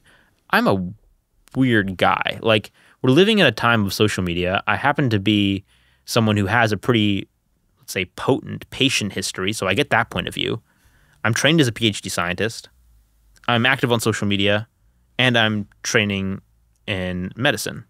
Like I wear a lot of hats, and so I, I find myself at like the center of like a four way Venn diagram, and I'm kind of just, you know, exploring from there what things I can do, how I can educate, teach, have a positive impact. Mm. I'm not always going to, you know, uh, let's say point the ship in the right direction, but this was again at some levels a sociologic experiment which is is going on now. It's been it's been literally 4 days. So we'll see how it rolls out. We'll see you know I, I would love like you know harvard to cover it. I'd love major news networks to cover it. I'd love to have chats with people with big platforms like peter attia or Huberman or Rogan if those opportunities arose. I, you know, not to to eh, be presumptuous, but I, these this is at least a topic that I think that all of those people named and you know people like Derek and a lot of other people would really be interested in having this conversation because it's it's it's cool. It's good science.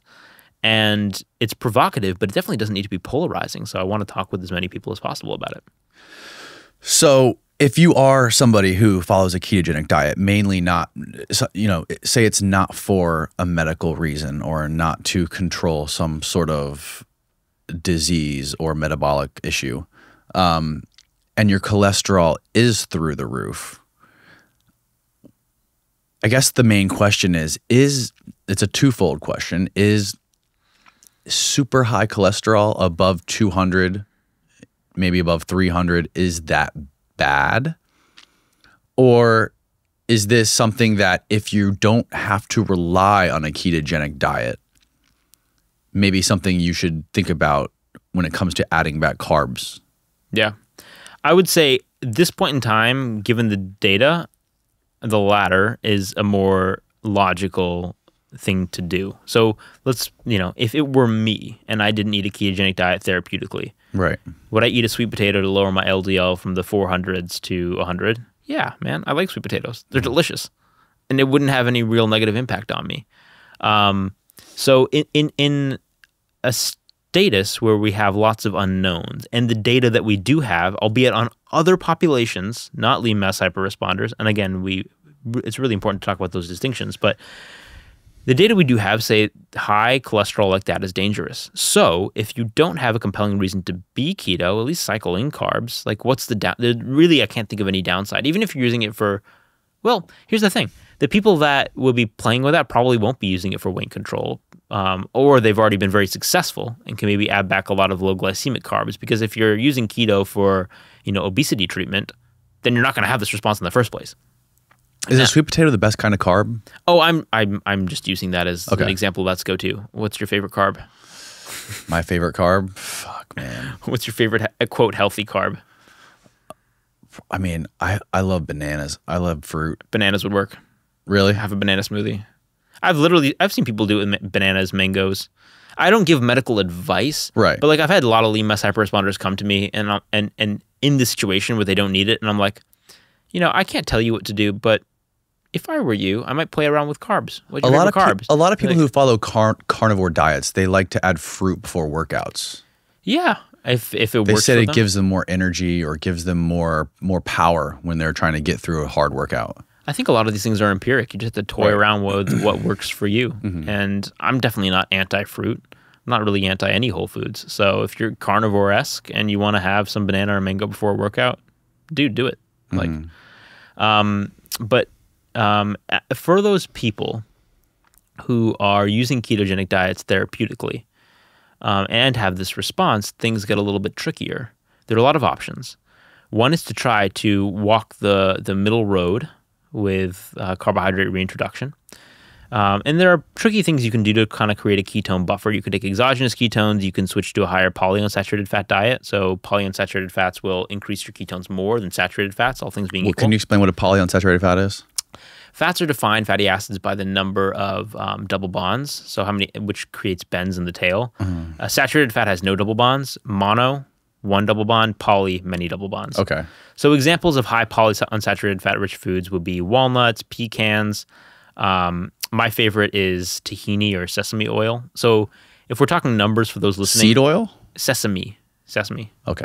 um, which is in the seed oil class. The whole thing with the seed oil, look, I wouldn't encourage drinking corn oil, but like just because it has high linoleic acid content does not make it a bad food. I think it's a little bit overblown. Um, and in particular, here's something interesting: is when you're low carb and you're burning fat, these fats get burned very, very quickly as fuel. So you actually might burn them off very quickly, um, and they re- result in pretty high ketone levels. So I can, with sesame oil, if I take about three tablespoons at night, um, can get my ketones within 20 to 22 hours at six millimole. So oh, wow. it, you know, again, you can, and, and I bring this up because it's it's it's highlighting the fact that um, we can be innovative with protocols. If I have a six millimole level of ketones and you know therapeutic, let's say, is two, then I have a big buffer to play with, more of a buffer than if I had a different fatty acid profile. So then I can add back more carbs, and we can see maybe what happens to my LDL. Plus, the polyunsaturated fats themselves might lower the LDL a little bit.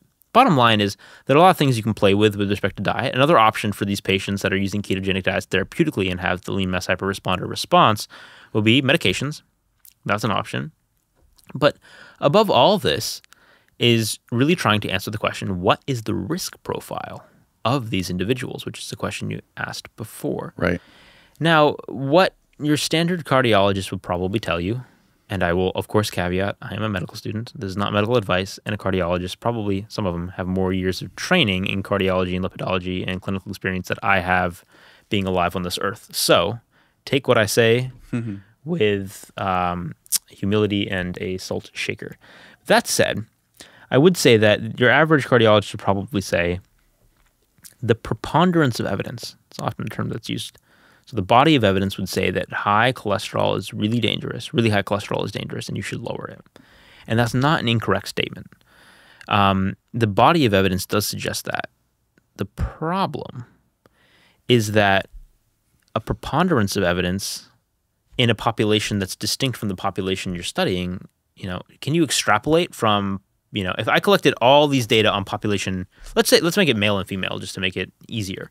If I wanted to conclude something about, you know, um, female hormones, so I did a study including, you know, a, h- uh, 99 males and one female, and then included something about females, like that doesn't make any sense, right? Right. So the evidence base we have is on people um, who you know aren't low carb and lean. This isn't a population that's been sought out before, and this this response is incredibly unique. So I want to highlight a, a really important contrast, and then I'm gonna get some water because my throat's getting Yeah. dry. Crack But- that liquid death open. Don't be scared. It's just Um, water. Yeah. Anyway, Murder your thirst. good. All right. So the the analogy that's often drawn with these lean mass hyperresponders with really high LDL is something called familial hypercholesterolemia. I mentioned it before. This is a rare genetic condition. Well, rare in its homozygous form. So um, that's the more severe form. A homozygous form, I think, it's something like one in a million, but um, where there are incredibly high cholesterol levels, LDL in, particular, and really early heart disease. As in Brown and Goldstein, who Yeah. studied the yeah They were like heart. They were finding heart disease in kids as young as like eight years old. Yeah. So the little girl, like it, it's it's it's literally heartbreaking. Like, you know, kids that are eight years old having heart attacks because they have these high cholesterol levels. And what was concluded out of that, and I'm not saying just out of that, there's a large body of literature supporting the idea that LDL particles, ApoB containing particles, are causal in cardiovascular disease. That's not untrue. But in that circumstance, what you have is a genetic disorder where you have a broken lipid metabolism and it's broken from birth. It's not like manipulated easily by diet. Restricting carbs, adding carbs isn't going to do anything. This is again that scenario where the lipid, um, the LDL receptor is broken, so you have inappropriate flux. You can't, you know, take up the LDL particles; they build up in the blood. Now, I want you to contrast that to what we have with lean mass hyperresponders. which doesn't have any cl- clear genetic link. It's not congenital, which means you don't have it from birth. It's induced by carbohydrate restriction. So you reduce the carbs, you have the phenotype. You add back carbs, the phenotype goes away. It's part of a triad of markers, not just an individual marker, um, as part of this metabolic response. And there are other phenomena like it in, is inversely associated with you know body mass index, which is weird. Um, there's typically very very low triglycerides and high HDL. Point being, I want to create this compare and contrast. You can imagine it like a T chart to say these things are different. They both have high LDL, but they're clearly different mechanistically. And so it's important to distinguish them mechanistically for a couple reasons. One is in terms of treatment options. Giving a kid with FH a sweet potato is not going to do anything. Giving a lean mass hyperresponder a sweet potato will. So there's treatment option differences. And then the question of risk arises. And, and all I'm saying is it's not appropriate to conclude fiercely that from a genetic disease, Mendelian randomization studies or studies on populations that are metabolically unhealthy, that we would conclude that there's the same risk profile in someone with a similar LDL but with a very different driver as part of this metabolic response. It could be true.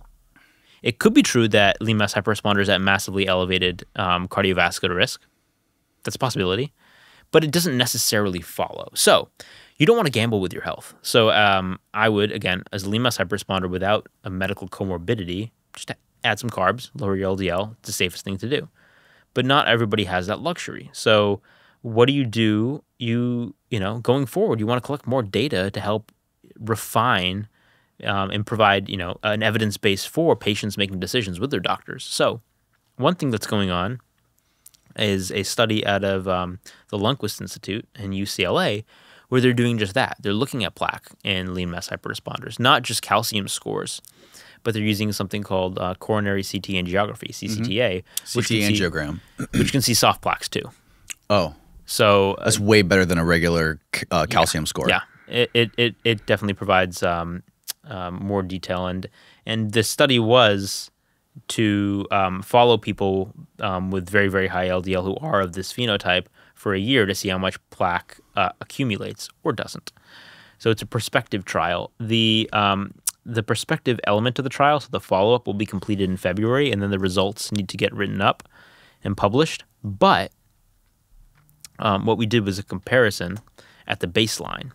So when when we got the first scans on these patients, um, these lean mass hyperresponder patients, on average they'd already been keto for 4.7 years. So you consider that 4.7 years of exposure to these high levels, right? Average age was um, 55, so they're not just young, you know, like me and you. Um, so, you know, one would expect maybe they do have some heart disease, especially with these crazy high levels for 4.7 years. And what we can do is compare them to a control group.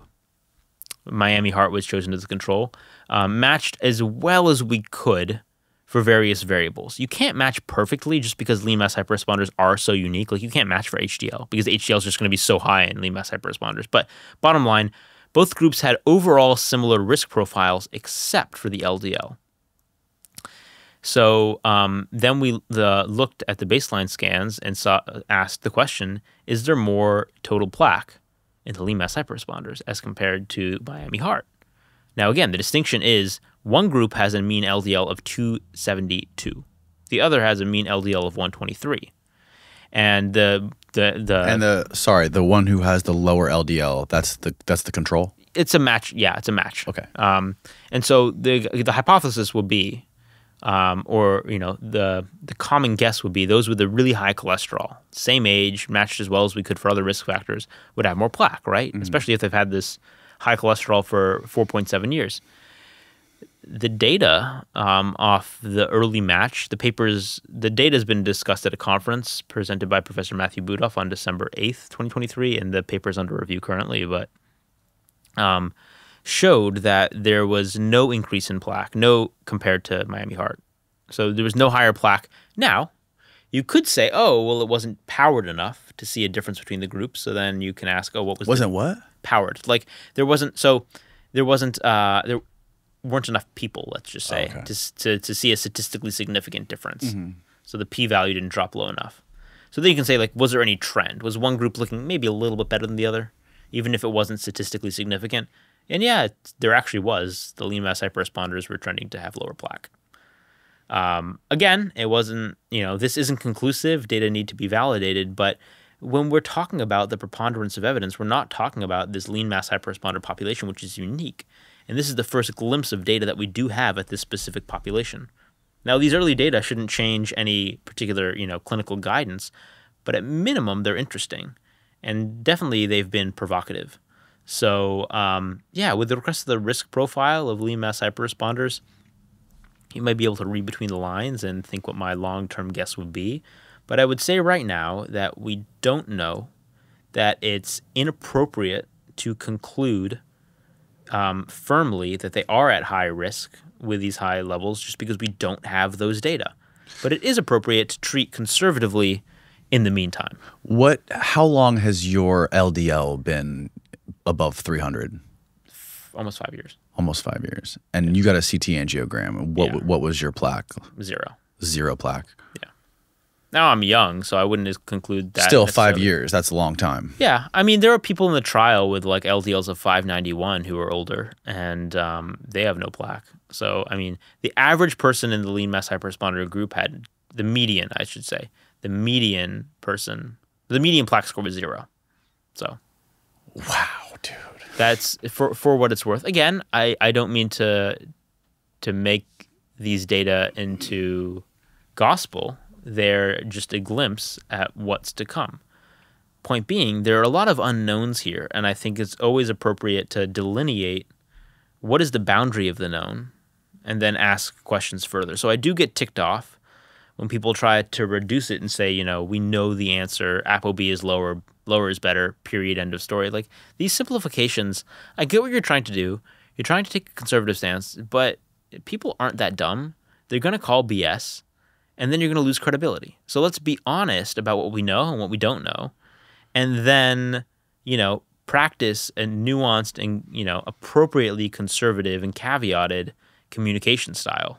I try to do that as best I can because I think people are pretty smart and receptive to that. But when you try to simplify it down and provide people with, you know, um, let's say, uh, patronizing advice or directives, they don't respond well. We can see this, and Now, what about ApoB? How does ApoB factor into all this? Because isn't ApoB one of the number one predictors of, of. Yeah. heart disease? So ApoB, um, apolipoprotein B, is the the uh, let's just say the tag, the protein on LDL, the, the lineage of LDL particles. So ApoB 100 specifically.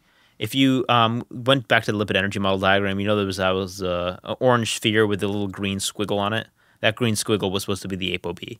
Okay. So that lineage of particles um, is ApoB particles. The VLDL turns into the LDL. There are some others like LP little a. Chylomicrons have ApoB48. Point being, these are proteins on the LDL lineage of particles. They're a better marker, but here's the thing: is like if your LDL is 400, your ApoB is also through the roof.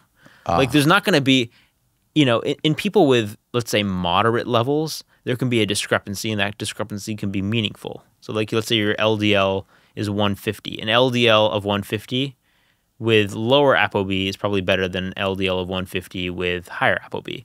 But when your LDL is 400 or 500, your ApoB is through the roof. It just is. Like my ApoB sometimes doesn't even measure on like labs because it's too high to measure. really? Yeah.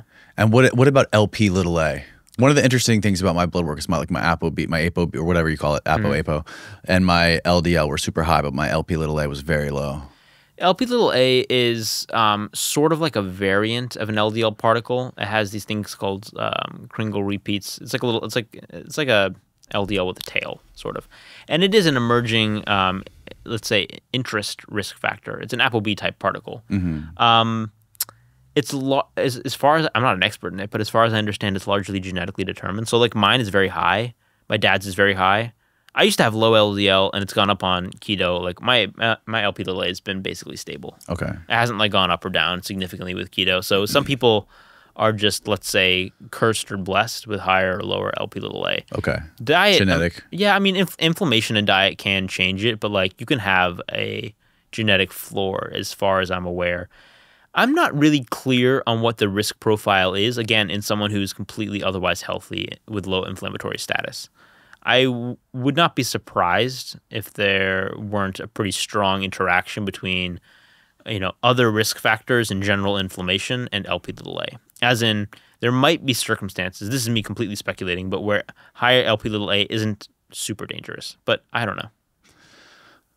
I've always been warned when it comes to the ketogenic diet. For example, when I first started doing it, I have kids, so I have like shitty food all around my house, like chips and stuff. I would go, I would be like very strict on my ketogenic diet for the entire day, and then I'd eat like a bag of chips or like animal cracker cookies before bed. And everyone would always, you know, all the research and talks that I've seen smart people do, they all say like that is like one of the pitfalls of the ketogenic diet. Like you can really fuck yourself up if you combine, if you follow a ketogenic diet, but you just like eat some treats at the end of the day or eat a bag of chips or have some ice cream. Like that could be like five times worse than just not following the ketogenic diet at all. Yeah, I don't really ascribe to that. Doesn't really make any sense to me. I will say if you're like ketogenic, say for a prolonged period of time, and you reintroduce carbs, you'll be carb intolerant for a period of time. Mm. Like if you do an oral glucose tolerance test, you will maybe even appear diabetic, but it's not because you're insulin resistant. You're just secreting less insulin. So your body, it's not stupid, so it's going to you know adapt. And if it doesn't need to burn carbs all the time, it's gonna you know adapt to be you know less efficient at using them. Now you can readapt, you know you can readapt, but it'll take time. It'll take weeks to read readapt properly.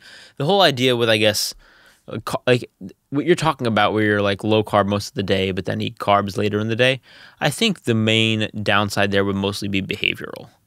As in, if you're carb restricted and you like carbs, then you might end up binging at the end of the day on carbs. But I don't think, I mean, I know people who like generally eat very low carb throughout the day, but then maybe they like to go out to dinner. The dinner has a little risotto. Right. I don't think that's particularly dangerous. I wouldn't call that ketogenic at that point because Right. you're you're to be ketogenic, you need to deplete your glycogen stores so you go into ketosis. So if you're eating carbs every night, you're probably not dipping into ketosis that much. But I, I, I don't think it's dangerous.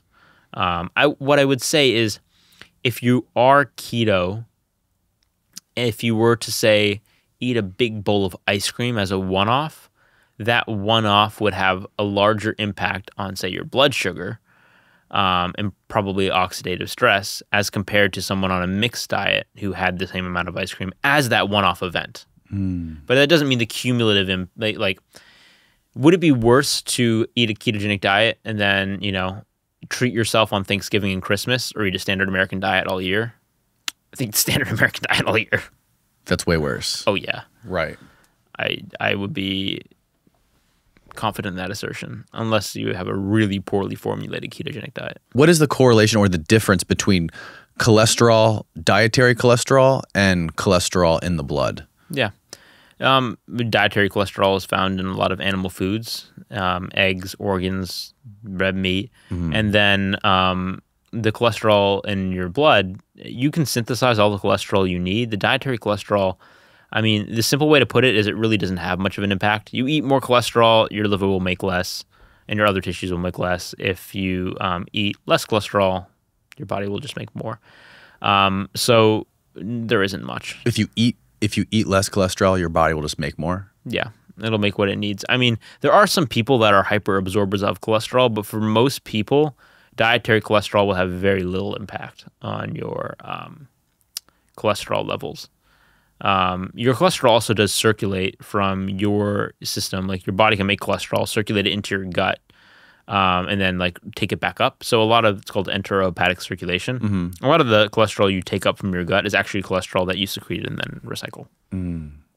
So So where do you plan what like what's your next step with this whole thing? Like I know you're kind of getting it out there, getting the word out there and getting more getting more attention on it. Like the way you're doing it is fantastic, but do you have any sort of plan on doing any more studies or following up with anything or Absolutely. I mean, I we have so many things we want to do, um, a, a, liter- a literal wish list, and it's going to depend on resources that are available. One thing I'd like to do, for example, is really prove how generalizable this is. Take people who have never been keto before. Like you literally go to a gym, mm-hmm. pick out people who are look like lean and athletic, and try in a metabolic ward to turn them into lean mass hyperresponders to see how many can convert. Because we've not found any genetic links, but I don't know if there is, you know, say a genetic permissibility. So, you know, could we get if we had ten really lean athletic people and we put them in a metabolic ward and controlled their diets, could I get 100% conversion? Could we get 100% conversion, 90, 80,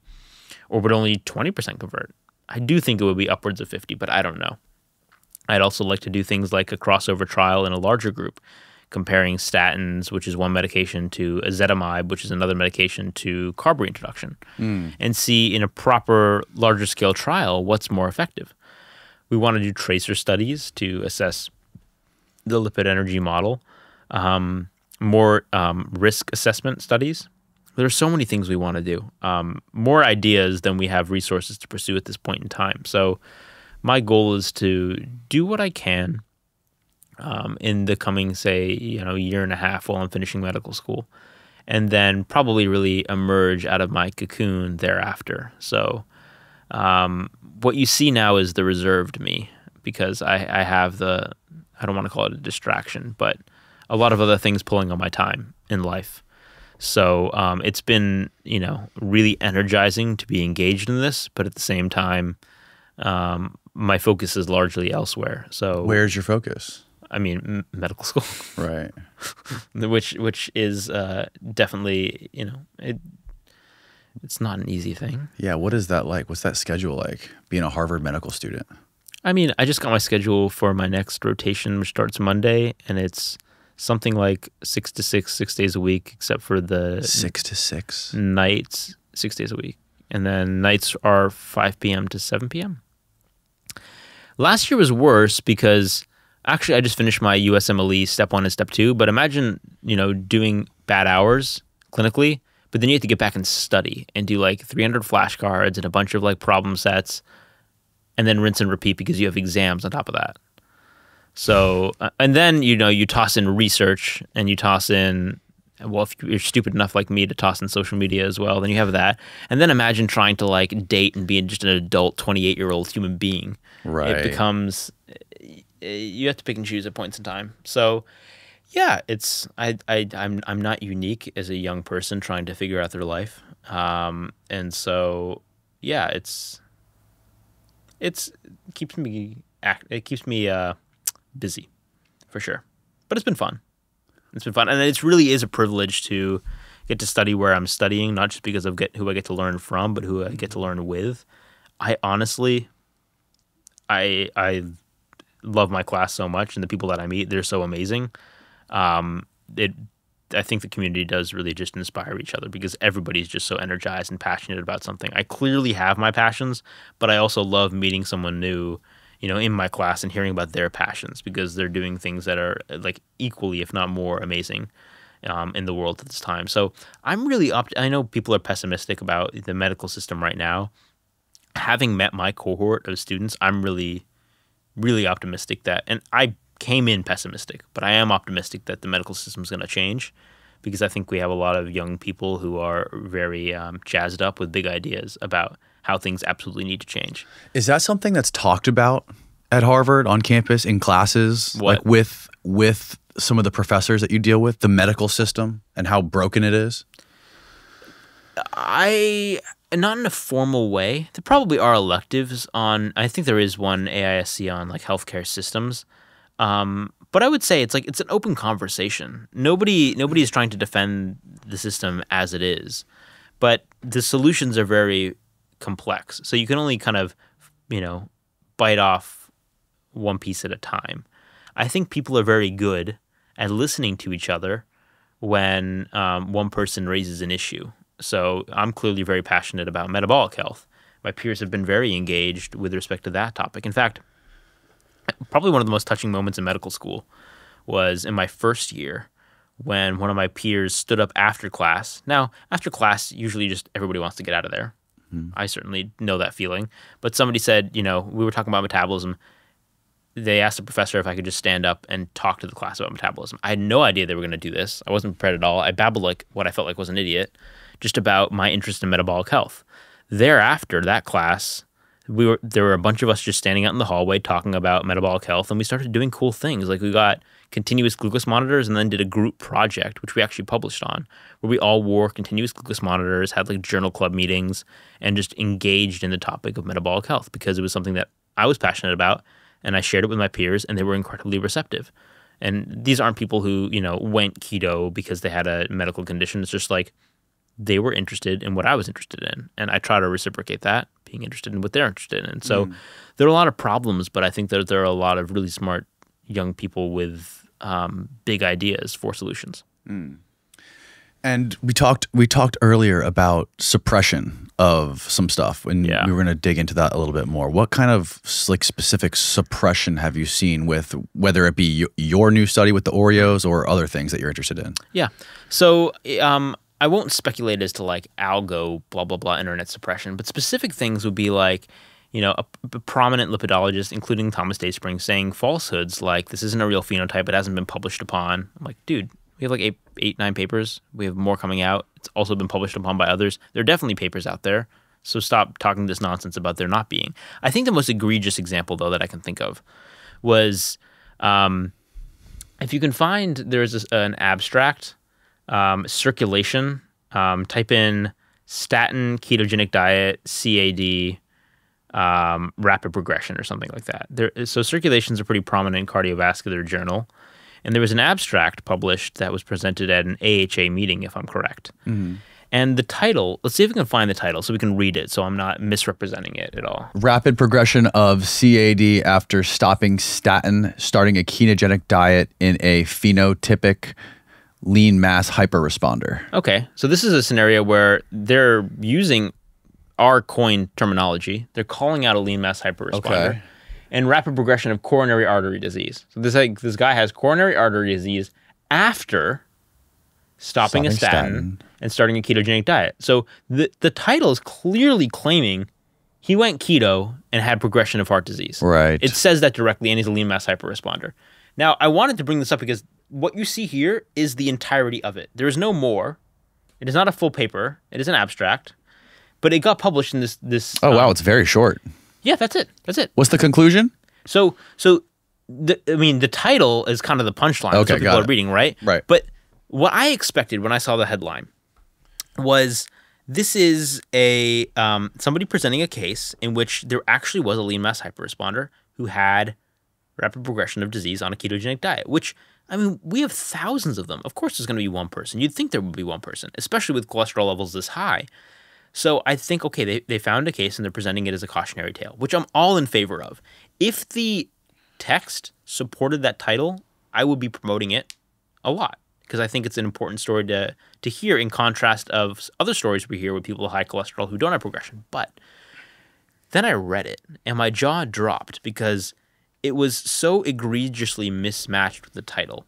The scenario was this there was a man, um, presumably on a mixed diet because he wasn't keto, who at some time, probably in his 40s, they don't give a very good timeline, but had um, um, occlusion of his left anterior descending, which is mm-hmm. the main left artery of his heart. So they went in there and did what's called a PCI. So they basically stented open um, his artery because it was clogged, mm-hmm. his left artery while they were in there fixing his left artery, which was clogged via his mixed diet, or while he was on his mixed diet, I'm not blaming the mixed diet, they noticed that there was some moderate disease. There was already disease in his right. So his left is clogged up, they're pumping it open or stenting it open. Then they look in his right artery, and there's moderate disease. So they give him a statin, secondary prevention. Totally like, I'm not clearly, I'm not like criticizing the clinical care of this patient at all, but this is what happened. Left artery, you know, occluded, stented open, look, has right artery disease. They put him on a statin.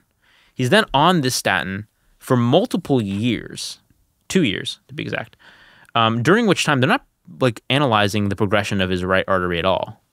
It's a couple years go by. There can be progression on this medication. Mm-hmm. Then they go to, and then you tried a ketogenic diet and had an RCA STEMI, um, ST elevation myocardial infarction, heart attack. So the timeline is such that they say, okay, he has left artery disease. We have to actually go in there and stent it open, presumably stented, it's PCI.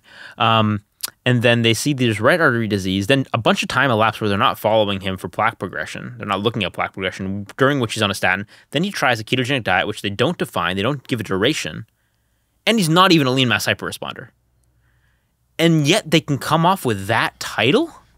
What like what not like it, Who is that? Who who published that? it was the journal was circulation. And here's the thing. I actually tried i had multiple um, people i was in contact with including cardiologists who was like let's let's put a letter to the editor. And you can't do a letter to the editor because it's an abstract. You couldn't even do an e-note or an e-letter because it's an abstract. And the author's contact information is not provided. So let's not call them out by name.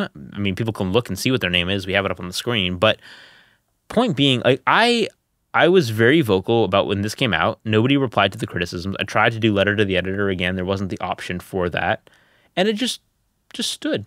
And this is one of those things where it's like it's not it's not a gray zone. It's not like, okay, we have interpretive differences, Nick. This is clearly a propaganda piece. Mm. Yeah, but who, who sees this though? Oh. we literally had to like find the direct, the No, exact this is- headline to cir- find it. Circulation is a major cardiovascular journal. It is. Yes. Okay.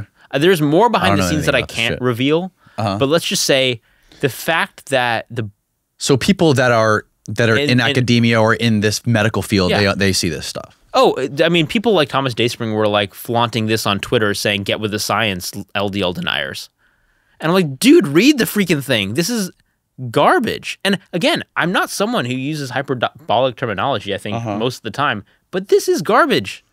This is like, it, it, it's not even that the bar was lowered. There was no bar.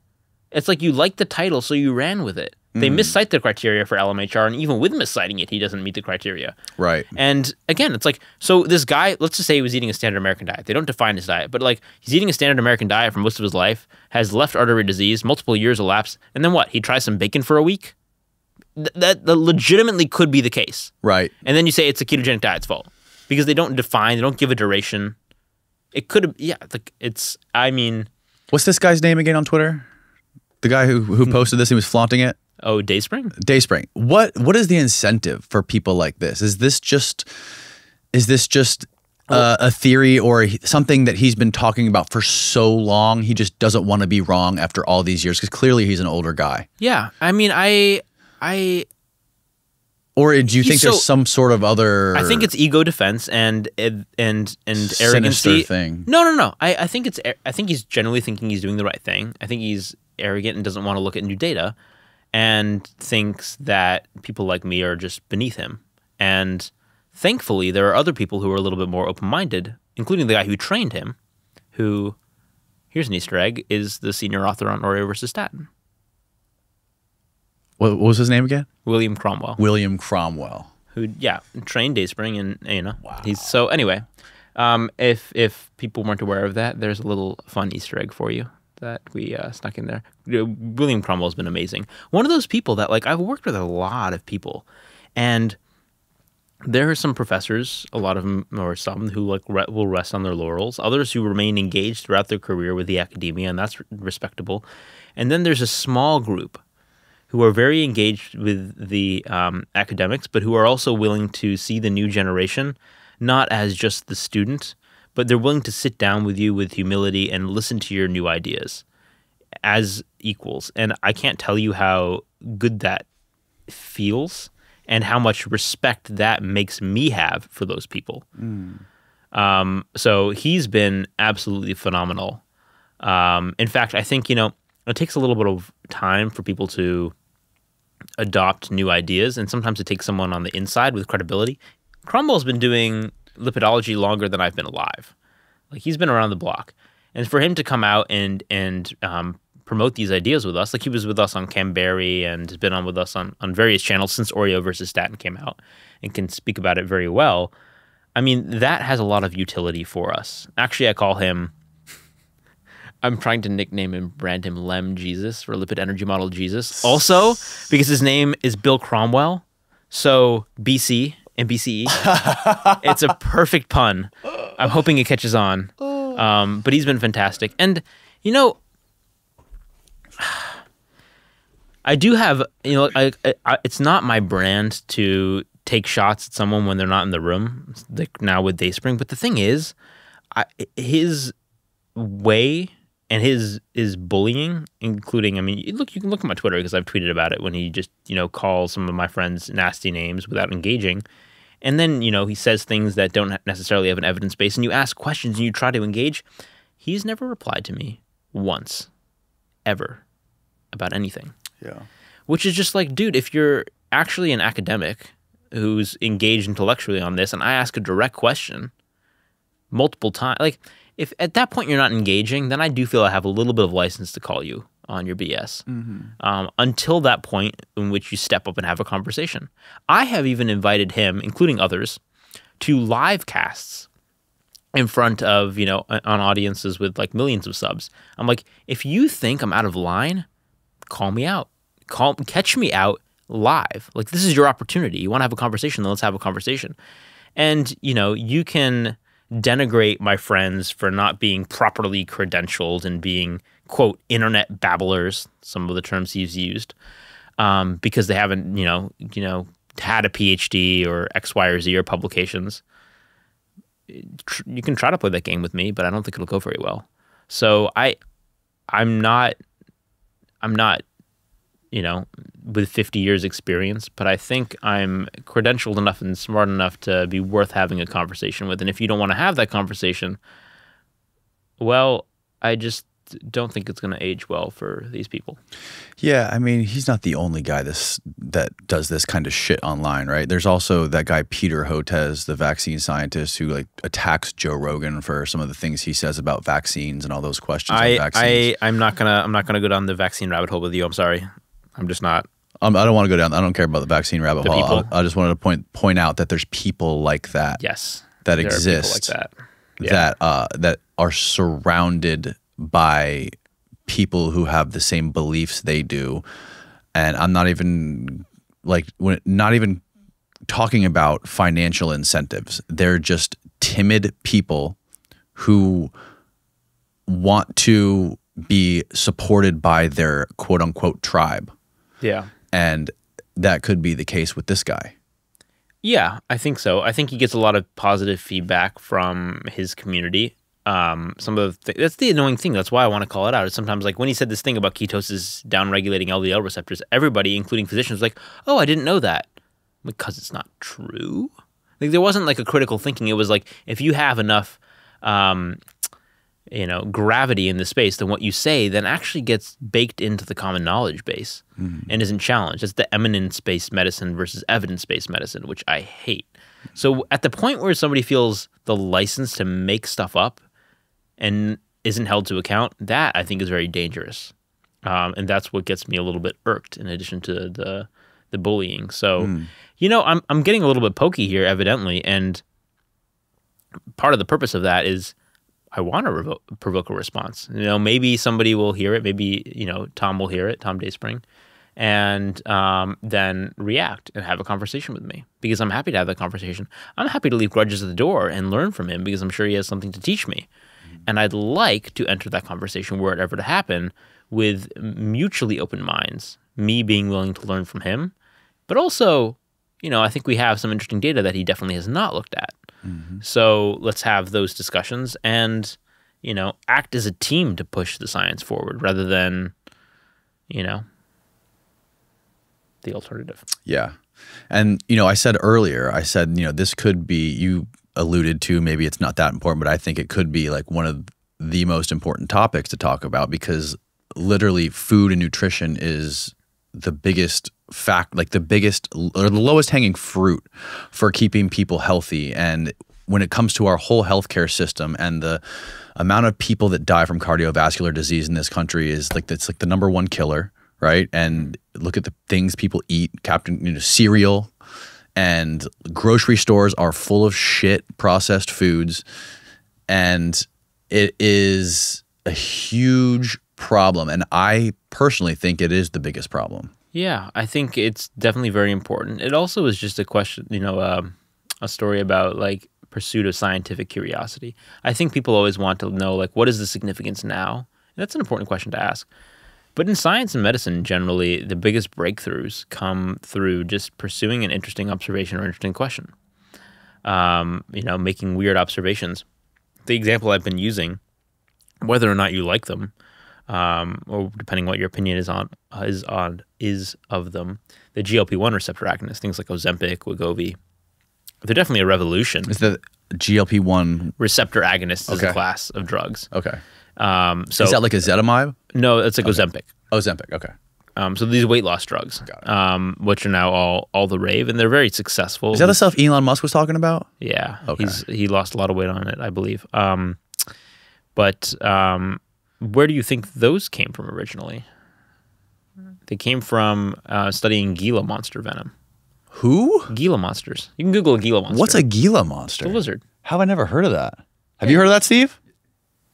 Yeah, man, it's a it's Stop lizard. it, Yeah, Yeah, it's a lizard. liar. it's Well, like uh, Yeah, it's a Gila monster. you, you see him at the, at Oh, the okay, zoo, man. Oh yeah, I've seen him before. Yeah, Google. I forget what the compound was. Google Gila monster venom Ozempic or something, and they're- Oh, it's yeah. like Exendin or something. It's Drug that uses a compound in Gila monster venom to help lower blood sugar. The compound is similar to a hormone produced by the intestines, but it lasts longer in the lizard's body. The synthetic form of the lizard hormone can help diabetics control their blood sugar levels. It also slows the stomach from emptying and decreases appetite, which can lead to weight loss. so anyway. The point. The point. The reason I brought it up is you can study something that seems kind of niche and esoteric and can have major rippling effects that you could never have predicted down the line. So when people ask what the relevancy of Oreo versus statin, and yeah.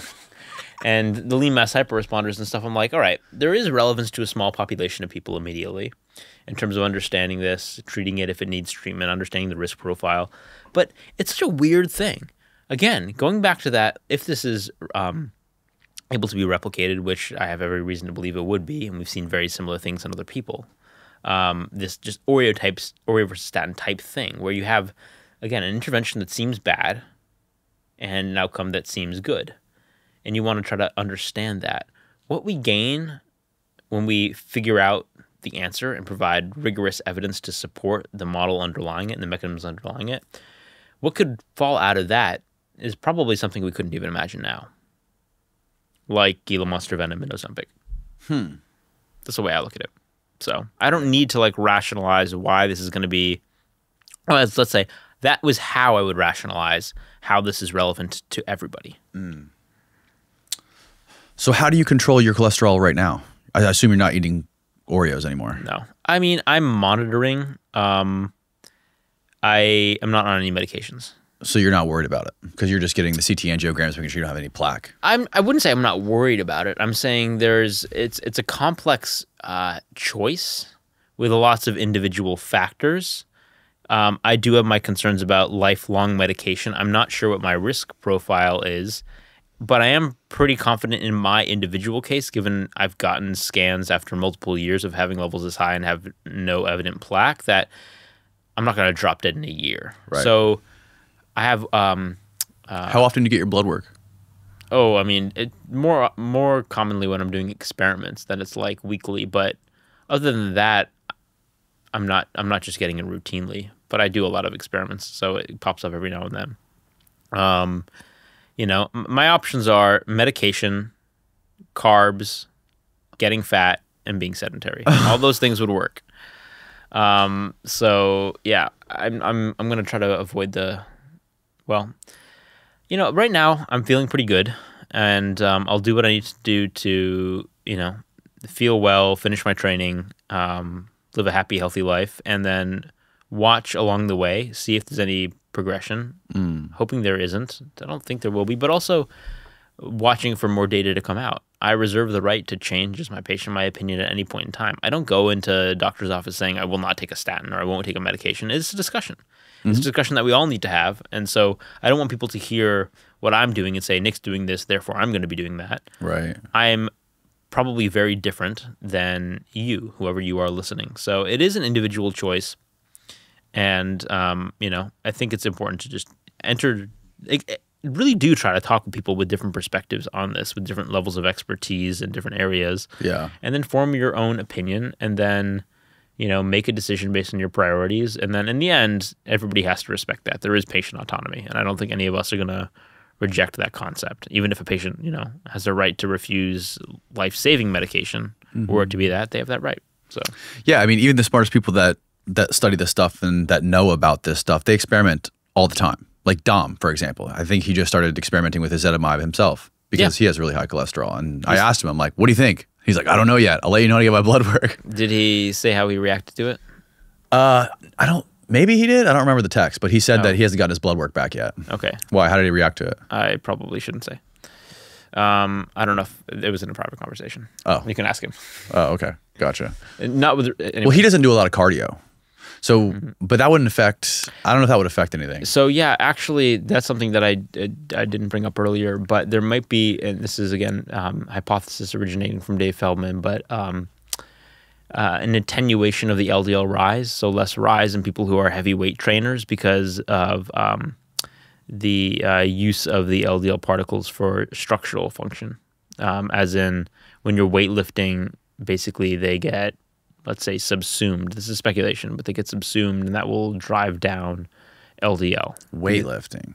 Yeah, if you're like a heavy weightlifter, Right. Like you know, if if you're if you're, you know, imagine. So somebody came up. Um, it was I forget who I was speaking with the other day, but we were doing. Um, they wanted to make. Oh, it was I think Dr. Boz or something. Um, I think that was her. A comparison between me. There was like a picture of me, and then a picture of The Rock. And and, and it, the the point You're was, pretty shredded. I saw your pictures. I have been historically. He's got some nice shirtless pictures for all the ladies listening. Um, I'm taken. I, I, I, I, I would like to keep those parts of my life separate, but I did figure after this Oreo versus statin thing that might not be possible. We'll see how much word is going around Harvard, but um, yeah. You're about to be a popular guy at Harvard, if it's not already the, fa- the It's case. a lot of people know. Like I, I was sitting down with a friend the other day, and she's like, "So Nick, I heard about this thing. And this was before it dropped. See, I haven't been like in in the hospital since it's dropped. Um, so yeah, we'll see if Harvard actually covers it. Then everybody, well, we'll just, they'll basically get an email blast. But anyway, we'll see. That aside, um, I forgot what I was going. Oh, the Rock. We're, we're, we're talking about you and the Rock, yeah. And then Bottom line is like if he was well, first of all, if he were natty, but like he's has so much more muscle and is just you know needs it for repair that his structural demands are going to be much much higher than mine. Um, even if we had the same body fat percentage, So what would that what would that mean? I mean his LDL wouldn't go up as high despite having similar body fat Because because the LDL is needed to repair his muscles and he's doing more Ah. muscle damage than Oh, I'm going to be doing because I don't Okay. have as much muscle as he does. but he's not does the does the fact that he's not naturally that muscular, the fact that he's taking all these fucking whatever Yeah, it ask is, Derek. I'm- tren or whatever it is.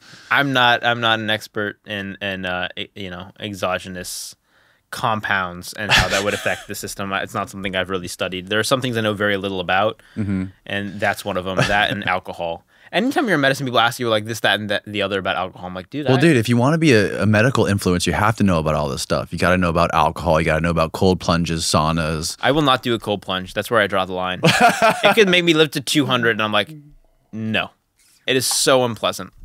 I just find it so so unpleasant. I'm a Yeah. giant baby around water. I will, you know, I'd, I'd rather run a marathon every morning and get no benefit other than the benefit equal to a cold plunge than do a cold plunge. I do not like. what about cold water. saunas? Oh, I love saunas. Do you? I do. I do. I don't have the, a lot of time for it right now, but like, you know, when I'm a little older, I want a home gym, a nice studio like this. Hopefully, I'll be doing Yeah. some podcasts at some point, and then, and then a sauna. I really do enjoy enjoy that. That's nice. Yeah, saunas are great. Actually, after a sauna, I could do like a three minute cold shower. yeah. Like I like the contrast. Well, yeah. If you have the if you have the cold bath or whatever plunge right next to the sauna, you could be like sweating your balls off, hop in that cold water, and won't be as bad. Right. You'd think uh, in Boston I have the money for that right now. Are you kidding? You don't even need it, bro. You, but you got the natural. You That's got the. true. I can you have Mother outside. Nature.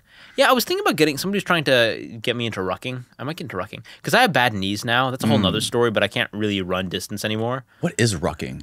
It's where you you walk with um, like a heavy sack on your back, like a weighted vest or um, like a backpack with weights. Oh. So it's supposed to be good cardio. And Oh. like- um, oh, I see. A weighted. Okay. yeah, so I think I might give it a go. I have a weird. Um, uh, I used to run a lot, but I actually have a weird mutation in a gene called LRP5, and it makes it so my bond my bones don't respond well to like heavy mechanical loads, so running impact. Um, actually, funny story there. You're not going to believe me when I say this, but you can Google it. Um, I started running intensely when I was 17, 16, 17. I was pretty good. Um, my marathon PR, even at that age, was like a 245. So I was fast. And um, I qualified for Boston for 2014. But that's when my bone uh, problems manifested because I was doing such high loads. And so I ended up getting a tibial fracture Oh no. uh, six weeks out from the race. So what do you think I did? Um, You're like David Goggins. You just powered through it. Google Norwitz crutches marathon. Stop it. You raced the marathon on crutches. I did. That was my senior year of high school. Um, Wow, look at you. so yeah, Did you get last? no, Really? Well, because here's the thing: you have you you go out in waves, right? So there's four waves, and because of my qual, they they, they place you based on your qualifying time. So I was in the first wave, and they stagger the waves by 30 minutes. So I actually had a let's say a head start on the people that started last, Right. and it only took even with that just under seven hours because you can kind of keep a clip. So um, yeah, it was it was a long day, um, and it was a great day. It was pretty cool at the beginning because um, I started in a like a mass of all the fastest runners. Like a little bit ahead of me were the people who were like gonna win the race. Right. And obviously, wave one, they just take off. I couldn't move as fast. So then I'm kind of like just hobbling along there. But because it's the beginning of the race, everybody's kind of like stacked up, like, you know, dozens of people deep and waiting for the waves to come. So wave one goes. And then they're like waiting. They're like, all right, wave two will be here in like 40 minutes. Mm-hmm. And they're like, what's that in the distance?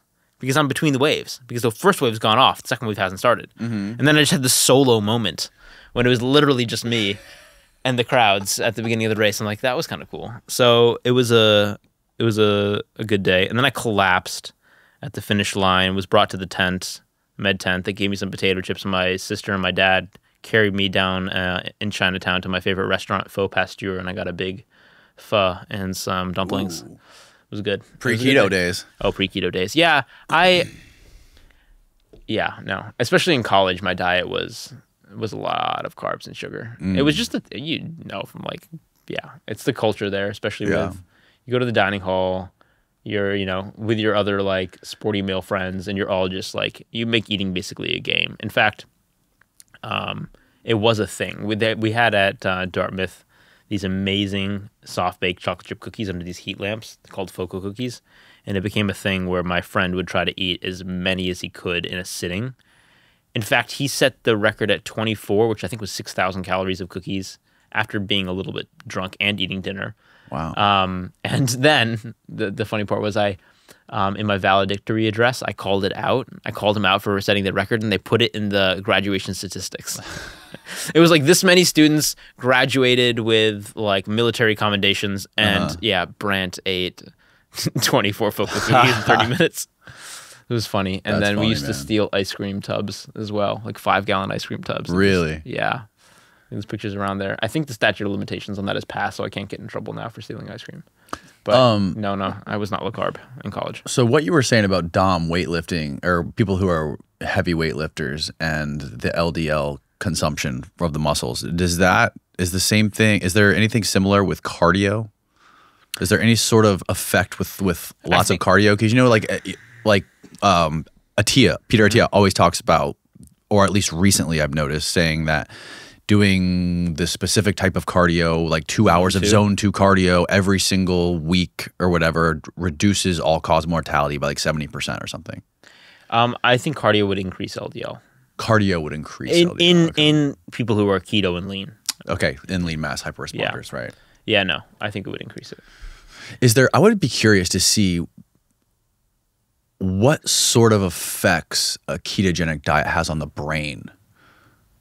I mean, Like, because there's plaque, you know, the plaque that builds up in the oh, brain, a- Alzheimer's disease. Alzheimer's disease, or anything, any sort of effects on the brain. Yeah, it's um, there's pretty compelling data now that it could be beneficial in neurodegenerative conditions, Parkinson's, Alzheimer's.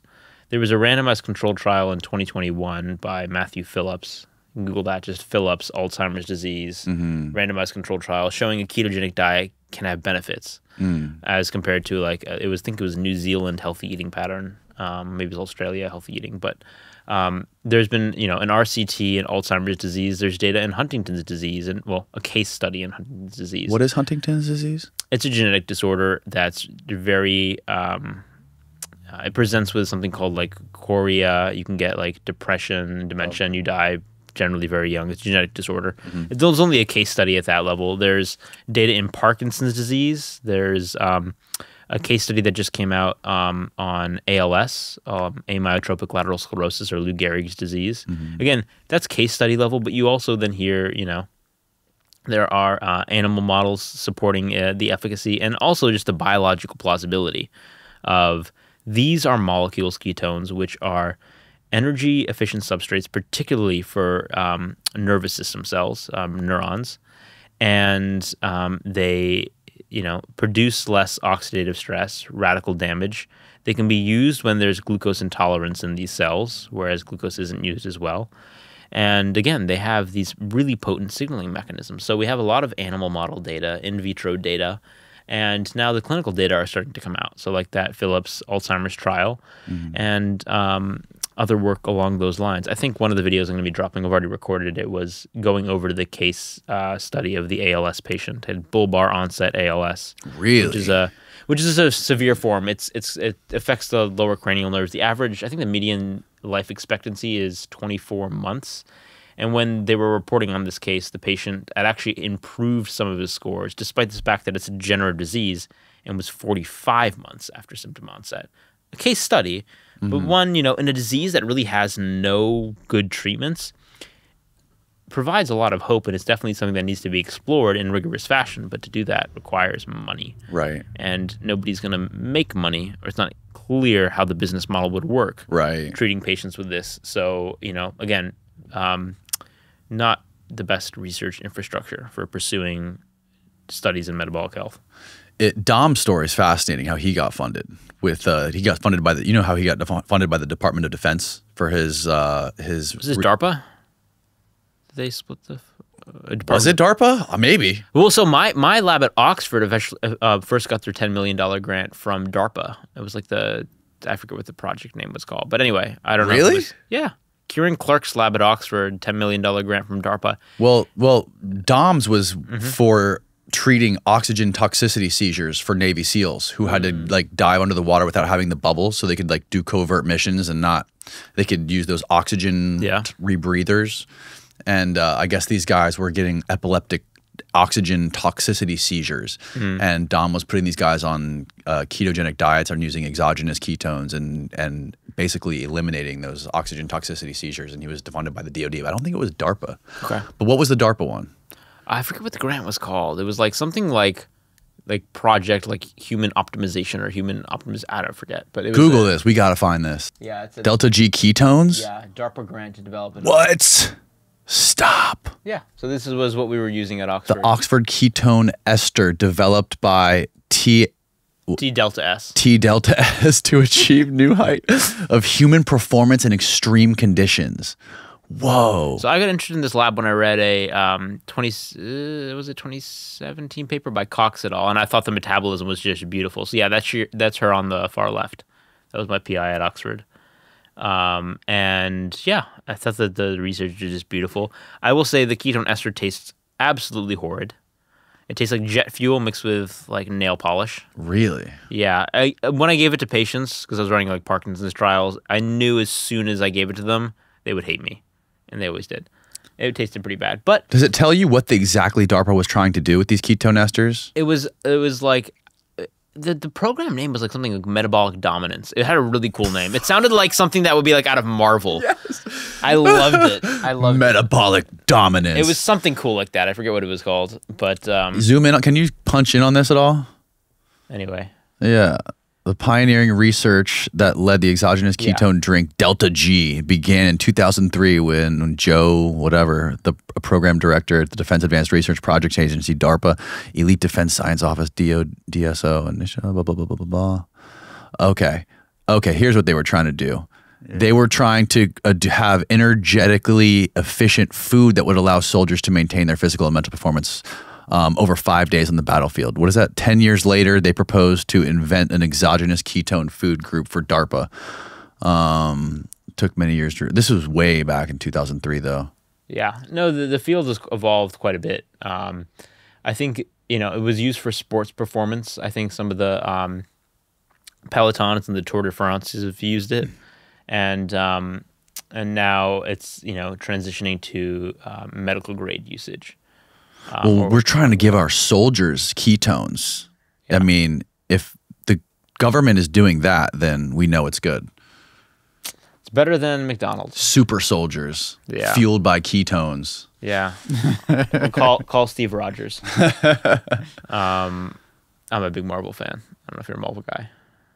They've the Phase Four was eh, although Loki two was excellent. I'm not a big I'm not a big Marvel guy. I could never really get into the Marvel stuff. It's a big commitment at this point. Yeah, it's a huge commitment. There's too much, man. There's so much. I'm a big DARPA guy though. So Yo, so we were about to wrap up, but I forgot I wanted to ask you about these things. So Dom is the one who told me about these candy bars because I was asking him. I'm like, Dom, I'm working all day and I'm trying to. I got to snack on shit. What are some good snacks? And he told me to check out these RX sugar chocolate bars. Um, so and I, it's something that I'm I'm fascinated with, but I haven't done enough research on it. But I guess that they replace the sugar with allulose. What is the story with this allulose stuff? So allulose is um, actually is a sugar. It's a rare natural sugar. It's kind of a, a cousin of, or let's say a twin of fructose. I think it's a three um, C3 epimer of fructose. So I think the way to kind of like break it down and think about it is um, if, if fructose is like let's say the evil twin, allulose is the good twin. But they're very similar molecules. But all- allulose isn't processed by your body like fructose. So to conceptualize what the benefits might be, um, one could say, okay, what what are you you gaining by just removing the fructose? So that's one element of it. Is fructose uniquely metabolically harmful? And actually, I've done like a YouTube series on you know going organ system by organ system, showing how actually um, you know fructose can play a role in the process of dementia, including fructose that's made in situ in the brain. So your body can actually make its own fructose via the polyol pathway, and you can ingest fructose. But it has unique properties as well. The metabolism of fructose is very fascinating. So the um, there's this one process of energy production in the cell called glycolysis. Maybe people remember that from eighth grade biology. I'm sorry if I'm causing PT- PTSD, but Nope. the first enzyme in that pathway, say you're breaking down glucose, um, what it does is it adds a phosphate group. It's called hexokinase, and it uh, traps the glucose in the cell. Um, but normally in biology, what happens is with these enzymes, they'll have an, an off switch, which is part of a negative feedback system. So if you present, you produce a lot more product, it will kind of feed back to turn off the enzyme so things don't get out of control. But fructose is unique in that the enzyme doesn't have that off switch. It's called ketohexokinase. Um, and because it doesn't have an off switch, if you have a lot of fructose and it goes down that pathway, what ends up happening is you actually get intracellular, so within the cell, energy depletion. The ketohexokinase phosphorylates the fructose a lot, and ATP levels drop. That's that kind of cell's energy currency. And then um, what will happen is the AMP, which is a breakdown product, builds up. That can generate intracellular uric acid. That can cause the translocation of something called NADP oxidase 4 to the mitochondria, damage your mitochondria, cause things like citrate to build up, causing de novo lipogenesis. All these jargony terms aren't things you have to understand and or could go to some of my videos where I break them down Yeah, I need English. bottom line, fructose has a unique metabolism, and it isn't a matter of just calories, but it's a matter of it can cause things that are uniquely metabolically harmful if you have high enough doses. I will caveat, I'm not saying that fruit is bad. Like you shouldn't like not have blueberries or a banana. Your body actually in your small intestine processes a lot of fructose to other sugars, and lower doses aren't necessarily harmful. Although we eat now sucrose, which includes fructose, that's table sugar, and fructose itself at very high doses to the point where it is damaging. Um, and there are schools of thought that um, fructose is contributing, um, especially to um, the obesity epidemic. I don't think that captures the whole picture perfectly, but point being, um, fructose is not just bad because of calories. It has unique metabolic properties that can make it uniquely damaging to the body. Um, in part by generation of new fat, also called ectopic fat, but also damage certain organ systems, including even the brain. Um, now, allulose tastes similar. It's again the cousin of fructose, but your body can't break it down. Um, generally, in biology, you can think about it like there's left and right handed molecules, and your body's enzymes can only work on one form. So if you use the other hand, you might be able to taste something, but it's not necessarily um, uniquely damaging. So I think one aspect, let's call this the tip of the iceberg, is that you can get rid of the fructose if you use allulose. You can therefore also reduce the caloric intake, so there's that, and you're not getting the damaging effects of fructose, which also means you have better blood uh, sugar control. So you're not your blood sugar is not spiking and falling. In fact, um, if you have, you know, I know patients with type 1 diabetes that can use these quite um, fine. And actually, it actually attenuates blood sugar spikes when there is sucrose. So, what I mean by that is it's not just neutral, but if you have this and you have sugar, your blood sugar response to the sugar is lower than if you just had the sugar. This has been shown now in randomized controlled trials as well. Um, so we can link those below. Um, So if you mix this with a regular chocolate bar, if you had this and you had a regular chocolate bar together, the blood sugar spike would be less than if you just had the chocolate bar. okay, that's fucking insane. And it actually, I mean, there are really. It really seems uni- too good to be true. so there are unique metabolic properties um, of natural compounds that we can exploit. One really cool one that I think is this is actually an inducer of um, GLP 1. So I think we even mentioned earlier the GLP 1 receptor agonist class of hormones are what. Um, so oh, sorry, are the like Ozempic and Wegovy, the weight loss drugs. Right. Those drugs are trying to mimic this hormone called GLP one. Allulose actually causes the release of GLP one um, and that's been shown, um, and it acts via the um, uh, vagus nerve, the wandering nerve, the tenth cranial nerve, to um, have effects on brain activity, hunger, um, and metabolic status. So that's just kind of one example of weird things that allulose can do. There are other things that we're studying or I'm, I'm, I'm peripherally associated with that I can't talk about, but I've been fascinated by it too because I'm one of those people. First of all, I have no drive for sweet myself, so I'm not looking for like an excuse to have something sweet. And I'm typically of the opinion that you know, um, if it sounds too good to be true, it probably is. But then we also have to look at what the data say. And broadly speaking, I'd say on non-nutritive sweeteners, so sweeteners without calories, they're the ones that I think definitely have negative metabolic impacts. Um, things like aspartame and Diet Coke people try to defend it. It's actually really funny. I watching social media spaces. You see these people it's like, "Oh, Diet Coke isn't bad for you." Yeah, Layne Norton. Yeah. I'd say, like, dude, Didn't you have an exchange with him? we've had a few. Well, this was actually about fructose because he recently retweeted. I just did that break. You know how I did the intracellular breakdown that I just Yes. talked about? Yeah. So like, all right, you know, ketohexokinase, you know, depletes uh, ATP, AMP builds up, causes, you know, blah blah blah blah blah. Aconitase, a lot of enzyme names. I caveated it as this is an interest piece explaining a biological mechanism. He retweets it with something like, "Oh, but saturated fat increases liver fat by seventy percent more than fructose." Ouch. It was trying to like dunk on me. The issue is he didn't look at table one of the paper he quoted, the paper he linked to try to dunk on me, where it actually showed that the fructose increased ectopic fat in the form of circulating triglycerides by 70%. So, yeah, there wasn't fat in the liver because it was being dumped into the freaking bloodstream, dude. So, look at figure one before you try to dunk on me. So, I did a response video. And then actually, he was very polite. He replied to the email that he hadn't replied to for a month, and uh, was we had a nice. exchange. I honestly, here's the thing. Um, I know I was just kind of poking a lane. I the people I think are very. Some people are deliberate about their social media style. Yes. he is clearly very his his persona on Twitter is very hot headed, and it works for his brand. I like And what I like that he, the fact that he points out a lot of the charlatans. Yeah, I do. space. So I actually have no big issue with Layne.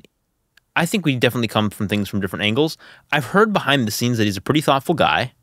Um, and I, actually think he is pretty smart. And I think we would actually, in, in real life, be pretty good friends. We've had good email correspondences. So you brought up, I wasn't going to bring up Layne, you brought up Layne, but that was just an example of look, there's more here to the story. I'm not saying fructose is, you know, in I'm not saying foods that contain fructose are terrible. Don't not eat blueberries because I'm talking about this, but I am saying it has unique metabolic properties and it's something that all things being equal, I think most people should reduce. And this allulose um, based product provides an option. And on top of that, the science is really, really interesting around, oh, oh yeah, and then the Diet Coke thing. Like things like aspartame and stuff, the the type of so on population like level data, it doesn't show that it promotes weight loss. So the benefit is questionable. Yes, it doesn't have calories, and you could, you know, try to presume something from a short-term study about chronic effects, but I don't think that's fair as well. There are data in humans that it screws up the microbiome and causes glucose intolerance. They've done studies. This was out of the Weizmann Institute in Israel. So they've done these kind of studies. They also do them in mice where they can do germ-free mice and fecal transplants. So they can actually show it's screwing up the microbiome because you can like mm. feed one group of mice, or actually, what you can do is you can. They did this. Um, humans who don't usually have things like I think this was actually using sucralose at this point in the study. It's been a while since I read it, but you give humans who don't have these sweeteners these sweeteners, then they become um, more glucose intolerant on um, glucose tolerance tests. And then what you can do is you can transplant the feces from the humans before and after they were exposed to mice. And what you can actually find is that after the exposure, the mice will pick up the glucose phenotype of the human. So the mice would be, you know, they get the human's feces. The, the humans haven't been exposed to the sucralose, or maybe it was saccharin. It was one of the S ones. Mm. And then the mice, you know, are okay with respect to glucose tolerance. But if you gave those mice the feces of the humans after they were exposed. If the humans then became glucose toler- intolerant because they had the saccharin or the sucralose, I forget, forget which one it was. I think it was actually saccharin. Then the mice pick up the phenotype, which shows that it was mediated by changes in the microbiome because the mice never were exposed to the um, right. non-nutritive sweetener. And we see similar things with aspartame. Again, biological plausibility breaks down to phenylalanine. I mean, even if like to show it has biological um, uh, effects. There are like disease conditions like phenylketonuria where you cannot have aspartame. Like if, right. if you have a kid that's test positive for this and they're screened for, like the first thing the doctor will say is like your kid cannot have diet coke. Mm-hmm. Like it is terrible for them. Now most people definitely do not have that condition. Point being, it's not just a neutral substance, and there are data that I think are just interesting. So we actually mentioned earlier, I think at the beginning of the podcast, like the whole diet coke and anxious sperm. Think about that experiment for a minute. In that study, what they did is they gave mice um, doses of aspartame, the sweetener in Diet Coke, that were equivalent to 7 to 15% of FDA regulated safe levels. So low doses, equivalent right. to 2 to 4 Diet Cokes. That was the dose equivalent. We're not loading these mice up. 2 to 4 Diet Coke dose equivalents. They tested them for anxiety phenotype. You can do like an open um, open field test, and they were like anxious mice. Not only that, then you cross the mice and look at their offspring, and their offspring, despite not being exposed, were themselves anxious. And even the grand offspring at the four Diet Coke dose were more anxious. So it could be inherited. Now, pause. What claim am I making? I'm not claiming that you can't use Diet Coke for weight loss, and I'm not providing human data that it's, you know, affecting mental health that can be, you know, transgeneration transgenerationally inherited, but you have to think about what data we can acquire. So if somebody says on Twitter, yeah, but these aren't human data, so I don't care, I'm like, yeah, but we're never going to have these data in human. You can't do this experiment in human.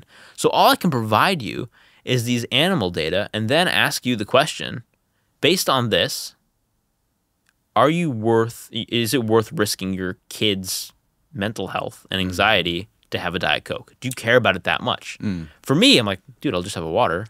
I don't need it. Right. People really need it. I mean, you're an adult, make your own decisions. I'm not saying you can't have Diet Coke. What I'm saying is this isn't the equivalent of water. So, are there negative health effects? I definitely think so. Is it going to cause cancer?